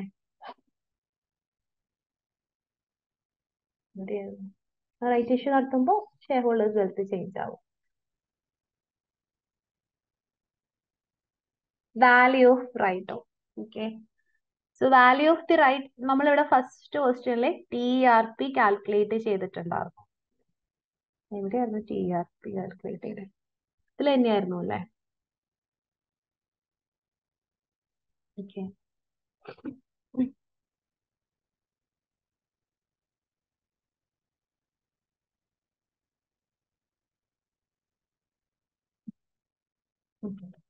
value of the right ഇവിടെ നമ്മൾ ഇത് കാൽക്കുലേറ്റ് ചെയ്ത് ടി ആർ പി കണ്ടുപിടിച്ചു.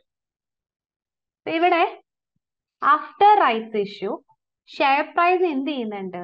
ചേഞ്ച് ചെയ്യുന്നുണ്ട്. അപ്പൊ റൈറ്റ്സ് ഇഷ്യൂൽ നമ്മൾ നമ്മൾ ആലോചിക്കുകയാണെങ്കിൽ ഓ നാല് ഷെയർ നാല് ഡോളർ വാല്യൂ ഉണ്ടാകുന്ന ഒരു ഐറ്റം ആണ് നമ്മൾ ടു ഡോളറിന് മേടിച്ചത്.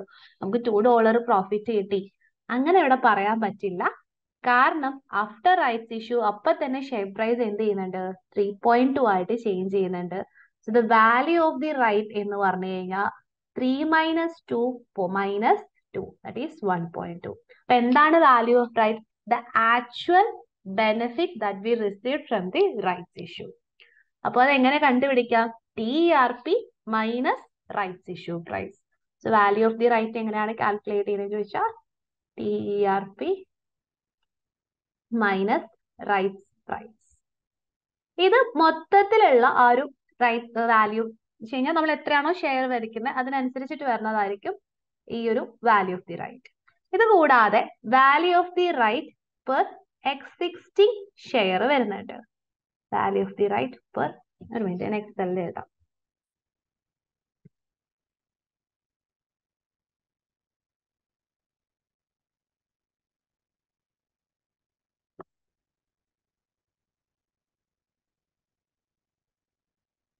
ഇവിടെ T R P three point two rights price two അതുകൊണ്ട് തന്നെ ഞാനിവിടെ പറയാണ് വാല്യൂ ഓഫ് ദി റൈറ്റ് എന്ന് പറഞ്ഞാൽ എത്രയാണ്? വൺ പോയിന്റ് ടു എങ്ങനെയാണ് വാല്യൂ ഓഫ് റൈറ്റ് കണ്ടുപിടിക്കുന്നത് T R P minus rights price so what is meant by this value of right actual gain after rights issue ഇനി value of right per existing share ഉണ്ട്. Per existing share അല്ല per share വരുന്നുണ്ട്. ഇപ്പൊ നമ്മൾ ഇവിടെ proportion ഉണ്ട്. Three is two two three is two two അപ്പൊ രണ്ട് ഷെയറിനാണ് നമ്മൾ എന്ത് ചെയ്യുന്നത്? Value of the right one point two കണ്ടുപിടിക്കുന്നത് ഇനി നമുക്ക് അത് എന്ത് ചെയ്യേണ്ടി വരും? ഒരു ഷെയറിന് എത്രയാണെന്നുള്ളത് നോക്കണം. അപ്പൊ അതിനിവിടെ എന്ത് ചെയ്താൽ മതി? വാല്യൂ ഓഫ് ദി റൈറ്റ് മൊത്തത്തിൽ എത്രയാണ് റൈറ്റ് ഇഷ്യൂ ചെയ്യുമ്പോൾ ഒരു ഷെയറിന് കിട്ടുന്നത്? വൺ പോയിന്റ് ടു ആണ്. ഇനി ഈ പ്രൊപ്പോർഷൻ ഇവിടെ എന്ത് ചെയ്യണം? അഡ്ജസ്റ്റ് ചെയ്യണം. സോ മൂന്ന് ഷെയർ ഉണ്ടെങ്കിൽ ഡിവൈഡഡ് ബൈ ത്രീ എത്ര ഷെയർ നമ്മൾ മേടിക്കുന്നുണ്ട്? ടു ഷെയർ സോ ആ ഒരു പ്രൊപ്പോർഷൻ അവിടെ അഡ്ജസ്റ്റ് ചെയ്യാണ്. Divided by three multiplied with two so അവിടെ ആൻസർ വരും one point two divided by three multiplied with two so ഇവിടുത്തെ value of the right per existing share ആണ് നിങ്ങളടുത്ത് ചോദിച്ചിരുന്നെങ്കിൽ answer will be point eight അതല്ല total value of the right ആണെങ്കിൽ one point two value of the right per existing share കണ്ടുപിടിക്കണമെന്നുണ്ടെങ്കിൽ ആ ഒരു proportion adjust ചെയ്യണം. അത് adjust ചെയ്യുമ്പോൾ ആൻസർ പോയിന്റ് എയ്റ്റ് ആയിട്ട് മാറും. അത്രേ ഉള്ളൂ value of the right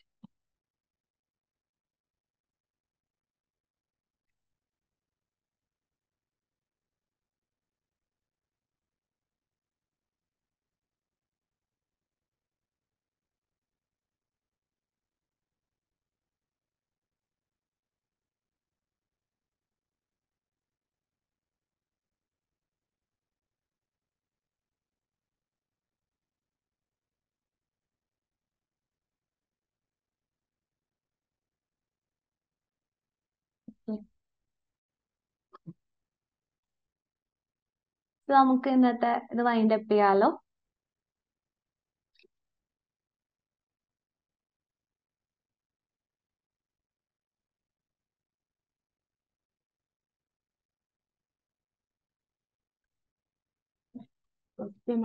seventeen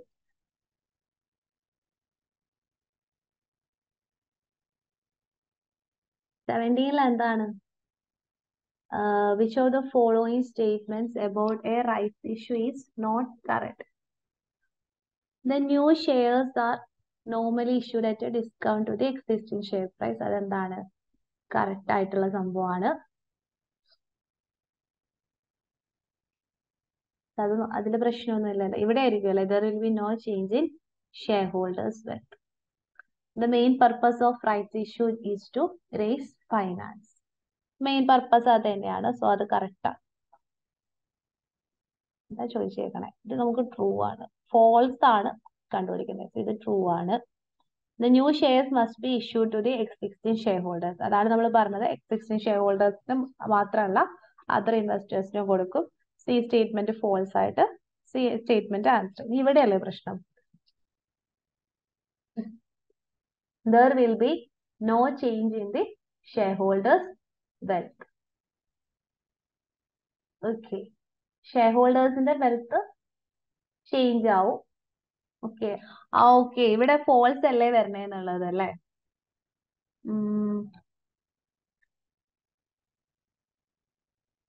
yeah change വരും. അതെന്തുകൊണ്ടാന്ന് വെച്ചാ ഐ വിൽ എക്സ്പ്ലെയിൻ അത് ഡിപ്പെൻസ് ആണ്. ഇപ്പോ റൈറ്റ്സ് ഇഷ്യൂ കഴിഞ്ഞു കഴിഞ്ഞു കഴിഞ്ഞാൽ നമുക്കറിയാം നമ്മുടെ നമ്പർ ഓഫ് ഷെയർസ് എന്ത് ചെയ്യുന്നുണ്ട്? ഇൻക്രീസ് ചെയ്യുന്നുണ്ട്. അറ്റ് ദ സെയിം ടൈം നമുക്കറിയാലോ നേരത്തെ കണ്ടില്ലേ ഫോർ ഉണ്ടായിരുന്ന share price T R P three point two ആവുന്നുണ്ട്. അപ്പൊ അത് എന്താവും റൈറ്റ്സ് പ്രൈസ് ഡൗൺ ആവും. അപ്പൊ ഷെയർ പ്രൈസ് അവിടെ എന്ത് ചെയ്യുന്നുണ്ട്? ഡൗൺ ആവുന്നുണ്ട്. As a result rights issue കഴിഞ്ഞു കഴിഞ്ഞാൽ പ്രത്യേകിച്ച് നോ ചേഞ്ച് എന്നുള്ളത് വരുവാണ് ഇത് എപ്പോഴും കറക്റ്റ് ആവണം എന്നില്ല. കാരണം എന്താന്ന് വെച്ച് കഴിഞ്ഞാൽ റൈറ്റ്സ് ഇഷ്യൂ ആൾക്കാർ എക്സസൈസ് ചെയ്തില്ല. അങ്ങനെയുള്ള സിറ്റുവേഷൻസ് ഒക്കെ വരാം. അങ്ങനെയാണെന്നുണ്ടെങ്കിൽ അവിടെ അത് ശരിക്കും കണക്റ്റഡ് ആയിട്ട് വരില്ല.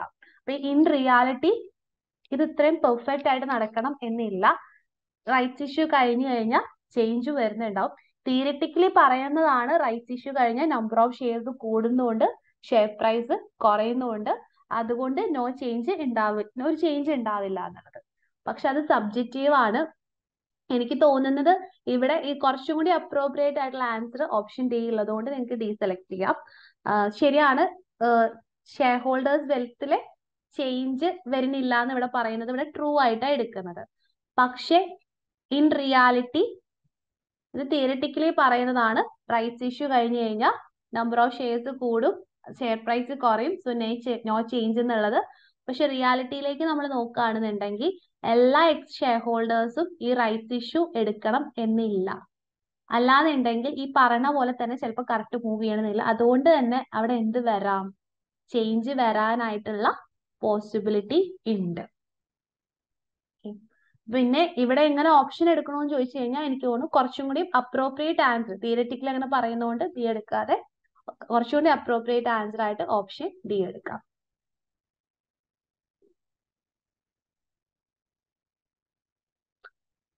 E P S. E P S dilute ആവില്ലേ എന്ന് ചോദിച്ചു കഴിഞ്ഞാൽ അത് ഷെയർ ഹോൾഡേഴ്സ് വെൽത്തിൽ വരില്ല. ഷെയർ ഹോൾഡേഴ്സ് വെൽത്തിൽ വരുന്നത് ഷെയർ പ്രൈസും ഡിവിഡൻഡും ആണ്. ഇ പി എസ് നമ്മൾ ഷെയർ ഹോൾഡേഴ്സിന്റെ ഏർണിങ്സ് ആണെങ്കിലും ഷെയർ ഹോൾഡേഴ്സ് വെൽത്ത് എന്ന് പറഞ്ഞു കഴിഞ്ഞാൽ ഷെയർ പ്രൈസ് ആൻഡ് ഡിവിഡൻഡ് മാത്രമേ ഉള്ളൂ. സോ ഇ പി എസിൽ വരുന്ന ചേഞ്ച് കൺസിഡർ ചെയ്യേണ്ട. Share holder total share holders return എന്നൊക്കെ പറഞ്ഞു കഴിഞ്ഞാൽ എന്താണ്? Change in share price plus dividend ആണ് വരിക.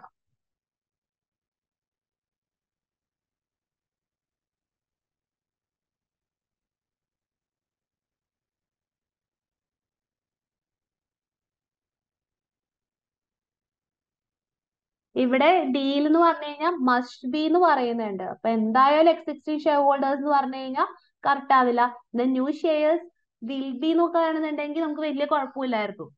പിന്നെ ഇഷ്യൂ ടു ദി ഇവിടെ മസ്റ്റ് എന്നൊക്കെ പറഞ്ഞു വരികയാണെങ്കിൽ എന്തായാലും എക്സിസ്റ്റിംഗ് ഷെയർ ഹോൾഡേഴ്സിന് മാത്രമേ കൊടുത്തേ പറ്റുള്ളൂ എന്ന്. അങ്ങനെ നമുക്ക് പറയാൻ പറ്റില്ല. എക്സിസ്റ്റിംഗ് ഷെയർ ഹോൾഡേഴ്സ് എടുത്തില്ല എന്നുണ്ടെങ്കിൽ ന്യൂ ഇൻവെസ്റ്റേഴ്സിന് ഓഫർ ചെയ്യും ചിലപ്പോൾ അവരും എടുക്കണം എന്നില്ല അങ്ങനെയുള്ള സിറ്റുവേഷൻസും വരാം. അതുകൊണ്ടാണ് ഞാൻ പറഞ്ഞത് ഷെയർ ഹോൾഡേഴ്സ് തലത്തിൽ ചേഞ്ച് വരാം എന്നുള്ളത്. തിയറിറ്റിക്കലി ഇനിയിപ്പോ എല്ലാ ഷെയർ ഹോൾഡേഴ്സും ഇത്രയുള്ള സിറ്റുവേഷൻ എല്ലാ ഷെയർ ഹോൾഡേഴ്സും ഇപ്പോൾ നമ്മൾ റൈറ്റ് ഇഷ്യൂ ഓഫർ ചെയ്ത് എടുത്തിട്ടുണ്ടായിരുന്നെങ്കിൽ എന്ത് വരില്ല? ഈ ഒരു ചേഞ്ച് വരില്ല. എല്ലാ നമ്മൾ ഷെയർ റൈറ്റ്സ് ഇഷ്യൂ ഓഫർ ചെയ്തു എല്ലാ ഷെയർ ഷെയർ ഹോൾഡേഴ്സും അത് എക്സൈസ് ചെയ്തു. സോ കറക്റ്റ് ആയിട്ട് നമ്പർ ഓഫ് ഷെയർസ് കൂടുന്ന അതേ പ്രൊപ്പോർഷനിൽ തന്നെ ഷെയർ പ്രൈസ് കുറയും. ഇതെപ്പോഴും ഇങ്ങനെ എല്ലാവരും എടുക്കണം എന്ന് നിർബന്ധമില്ല. അപ്പൊ അങ്ങനെ എടുക്കാതിരിക്കുന്ന സിറ്റുവേഷനിൽ ഷെയർ ഹോൾഡേഴ്സിന്റെ വെൽത്ത് എന്താവും? ചേഞ്ച് വരുന്നുണ്ടാവും. അപ്പൊ നമുക്കിവിടെ അസ്യൂം ചെയ്യാം എല്ലാ എല്ലാ റൈറ്റ്സ് ഇഷ്യൂയും എക്സസൈസ് ചെയ്തിട്ടുണ്ടായിരുന്നു അങ്ങനെ എല്ലാ ഷെയർസും എക്സസൈസ് ചെയ്തിട്ടുണ്ടെങ്കിൽ there will be no change അത് കറക്റ്റ് ആണ്. ഓക്കെ അപ്പൊ ഹൺഡ്രഡ് പെർസെന്റേജ് എപ്പോഴും ചേഞ്ച് വരില്ല എന്ന് നമുക്ക് പറയാൻ പറ്റില്ല. അതാണ് പോയിന്റ് ആയിട്ട് പറഞ്ഞത്.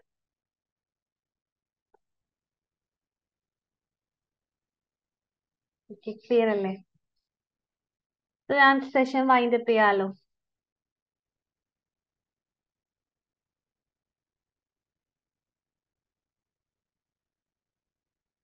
Bye thank you